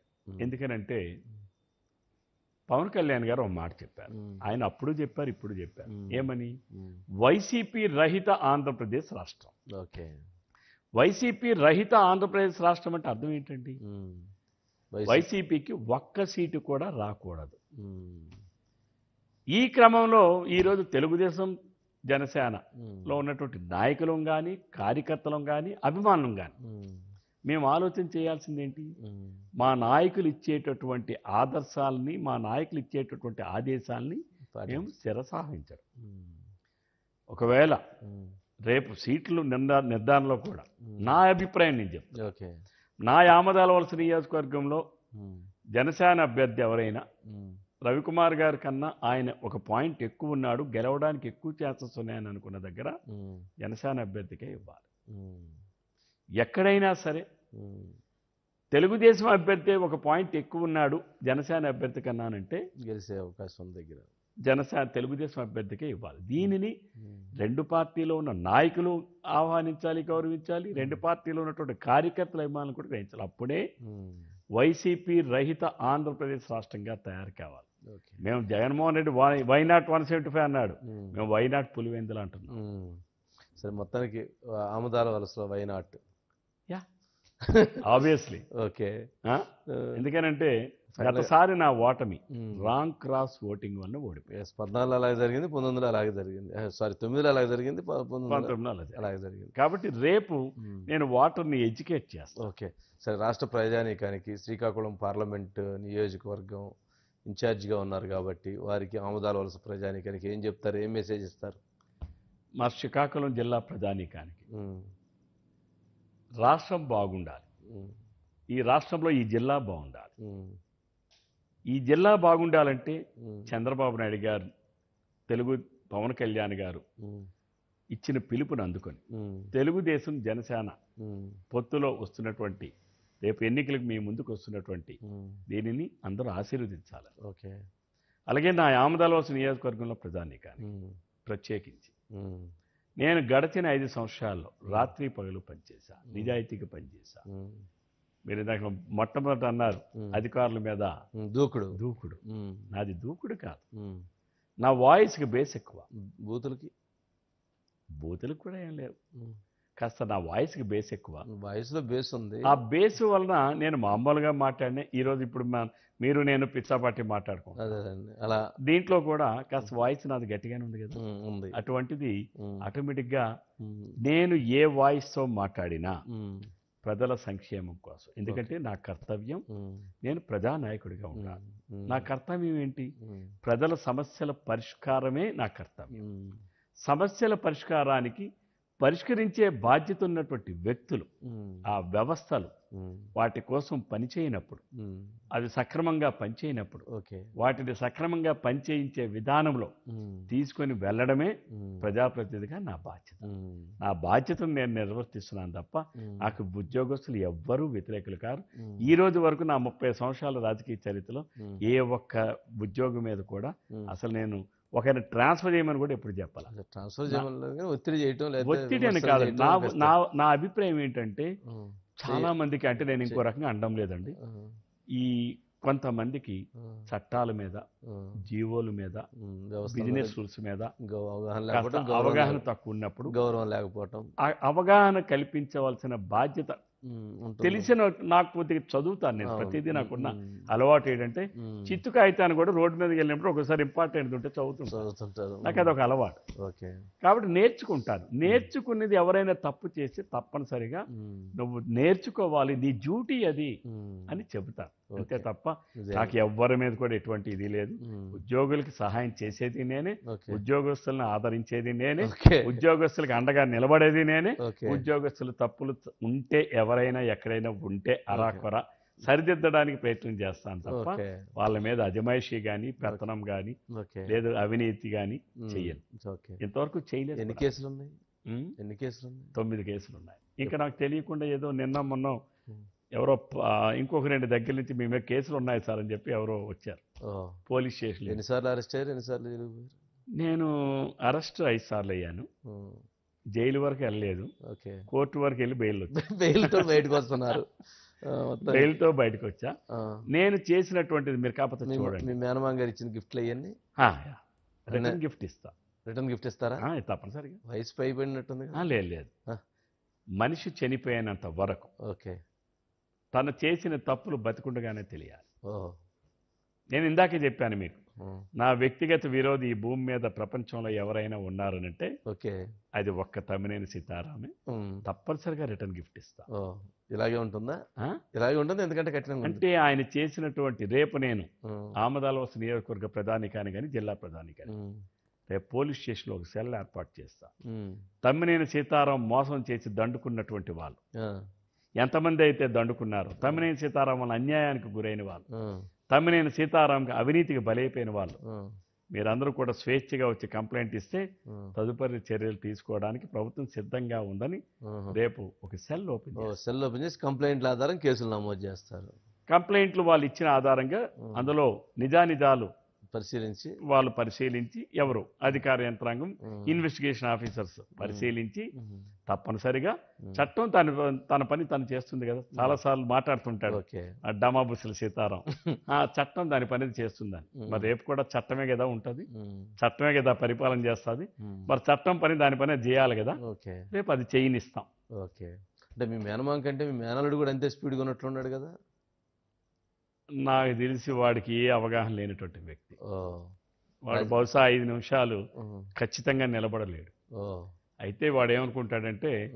పులికి మచ్చలు ఉన్నాయని చెప్పి వాడు వాతలు పెట్టుకోవడానికి ప్రయత్నం చేస్తుంటాడు. ఓకే. అంటే నేను పులిని అని చెప్పడం. ఓకే. కానీ జనం తెలుసు. ఈడు నక్క పులిని చూసి వాతలు పెట్టుకుంటున్నాడు ఈడు వాతలు పెట్టు- పెట్టుకుంటే ఈడు వల్లే కాలిపోతుంది ఓకే. ఈ రోజు పరిస్థితి అదే. అంతేనంటారు అంతకు మించి ఏమీ లేదు. అక్కడ విషయం అయితే ఏమీ లేదు. కాబట్టి వాళ్ళు నేను వాళ్ళందరి వల్ల కూడా. ఈరోజు మీకు బెస్ట్ ఎగ్జాంపుల్ అండి. మా ఆమదాలవలసలో కాస్త వైశాఖ కమ్యూనిటీ ఉంటా. మాకు ఒక ఆయన పెద్ద ఆయన తెలుగుదేశం పార్టీ ఆవిర్భావం నుంచి ఆ కుటుంబం అంతా కూడా తెలుగుదేశం పార్టీకి అండగా నిలబడ్డారు ఉమ్, తమిళ సీతారాం మొట్టమొదటి రోజుల్లో ఆయనకు ఒక ఇల్లు ఇచ్చి ఆమదాల్స్ పట్టణంలో మీరు ఇక్కడ ఉండండి అని ఆ- ఆశ్రయం కల్పించినటువంటి వ్యక్తి. ఓకే. అటువంటి కుటుంబానికి సంబంధించినటువంటిది ఒక ఆస్తి. ఒక ఐదు పది కోట్లు చేసేటువంటి ఆస్తిని వాళ్ళతో ఒక తగువ ఏదో ఉందంటే ఉభయల్ని పిలిచి బలవంతంగా వాళ్ళతో రిజిస్ట్రేషన్ చేయించుకొని ఈ రోజు కూడా డబ్బులు ఇవ్వలేదని వాళ్ళు నా దగ్గరికి వచ్చి ఫిర్యాదు కూడా చేశారు. అంటే ఇది ఒక ఎగ్జాంపులే చెప్తాను ఇలాంటివి అనేకం అంటారు. ఇలాంటివి చాలా ఉన్నాయి. చాలా. దొంగ డాక్యుమెంట్లు క్రియేట్ చేసి. ఫోర్జుడ్ డాక్యుమెంట్స్ క్రియేట్ చేసి ఎంతో మందికి నోటీసులు పంపించి. ఒక ఆమె పాప నా దగ్గరికి వచ్చింది. వాళ్ళ ఆయన ఆయనతో తిరిగేవాడు. వాళ్ళ. ఆయన చచ్చిపోయాడు. ఆ ఆ సైట్ ఆమె పేరు మీద ఉంది. మీ ఆయనకి నాకు భూమి అమ్మేశాడు? ఎనభై లక్షలు ఇచ్చేసాము నువ్వేమో డబ్బు నాకు రిజిస్ట్రేషన్ చేయని. ఆమెకి వీళ్ళు ఒక లీగల్ నోటీస్ పంపించారు. భూ అది సైట్ ఏమో ఆమె పేరు మీద ఉంది. ఓకే. అంటే ఆడు చనిపోయాడు కదా. బతికిలేడు కదా. ఇలాంటి అనేక ఉదంతాలు ఉన్నాయి మొత్తానికి కంప్లైంట్లు అయితే కేసులు అయితే ఇలాంటివి చాలా ఉన్నాయి. Cell cell. రేపు సెల్ ఓపెన్ చేయిస్తా. చంద్రబాబు నాయుడు గారిని రేపు పవన్ కళ్యాణ్ గారిని ఆ ఇద్దరు నాయకులు కూడా అడిగి రేపు ప్రత్యేకించి. దురాగతాలు అక్రమాలు అన్యాయాలు అవినీతి అంటే రాష్ట్ర వ్యాప్తంగా చేయొచ్చు అయితే మరి చేయొచ్చు తప్పనిసరి. చేయాలి. Okay. Including Jaganmohan Reddy. Okay. Cell open చేసి వాళ్ళ తాలూకా వాళ్ళ వలన ఎవరైతే ఆస్తులు కోల్పోయిన వాళ్ళు వాళ్ళ అవినీతికి బలైపోయిన వాళ్ళు. మీరు ఫిర్యాదులు ఇస్తే ఈ ప్రభుత్వం పరిష్కరించడానికి సిద్ధంగా ఉంది. ఓకే. రైట్ కోన రవికుమార్ గారు థ్యాంక్ యూ అండి. చాలా అంశాల గురించి స్పష్టమైనటువంటి అంశాలు. తెలుగుదేశం పార్టీ గ్రంథాలయం ఎక్కడుందంటే కోన రవికుమార్ గారి దగ్గర ఉంటున్న లైబ్రరీ అలాంటి సమాచారాన్ని అందిస్తూ ఉన్నారు. రెండు ముఖ్యమైనటువంటి అంశాలు. ఎవరైతే వైసీపీ రహిత ప్రభుత్వాన్ని అధికారంలోకి తీసుకురావాలని చెప్పని ఎవరైతే జనసేన అధినేత పవన్ కళ్యాణ్ చెప్తున్నారో ఆ ఆశయాలని ఆ నిర్ణయాలని తెలుగుదేశం పార్టీ అధినేత చెప్పేటువంటి నిర్ణయాలని కూడా ఆ పార్టీ నాయకత్వం కార్యకర్తలు అందరూ కూడా కలిసికట్టుగా వైసీపీ రహిత ప్రభుత్వాన్ని తీసుకురావాలి అనేటువంటి అభిప్రాయంతో పాటు ఎక్కడైతే గతంలో జరిగినటువంటి ఈ ఐదు సంవత్సరాల్లో ఎవరైతే తమ్మినేని సీతారాం చేసినటువంటి స్పీకర్ చేసినటువంటి అవినీతి అక్రమాలు అరాచకాలపై ప్రత్యేక సెల్ ఏర్పాటు చేసి రిటర్న్ గిఫ్ట్ ఇస్తాము. ఖచ్చితంగా ఎవరైతే వాళ్ళ బాధితులందరికీ న్యాయం చేసే విధంగా ముందుకు వెళతామని ప్రభుత్వం ఏదైతే వైసీపీ ప్రభుత్వం ఈ ఐదు సంవత్సరాల్లో చేసినటువంటి సంక్షేమం ఏంటి అభివృద్ధి ఏంటి గత ఐదు సంవత్సరాల్లో చంద్రబాబు నాయుడు గారు చేసిన అభివృద్ధి ఏంటి సంక్షేమం ఏంటి ప్రజలు ఆలోచించుకొని నిర్ణయించుకొని ఓటు వేయాల్సినటువంటి అవసరం ఆవశ్యకత ఉంది. గత అభివృద్ధిని ఇప్పుడు అభివృద్ధిని ప్రజలు పూర్తిగా తెలుసుకోవాల్సినటువంటి తెలుసుకొని నిర్ణయం తీసుకోవాల్సినటువంటి అవసరం ఉందనేటువంటి అభిప్రాయాన్ని కొన రవికుమార్ గారు వ్యక్తం చేస్తున్నారు. ఇది ఈ the leader with Vamshi. Thank you thank you so much. Thank you అండి రవికుమార్ గారు. గారు.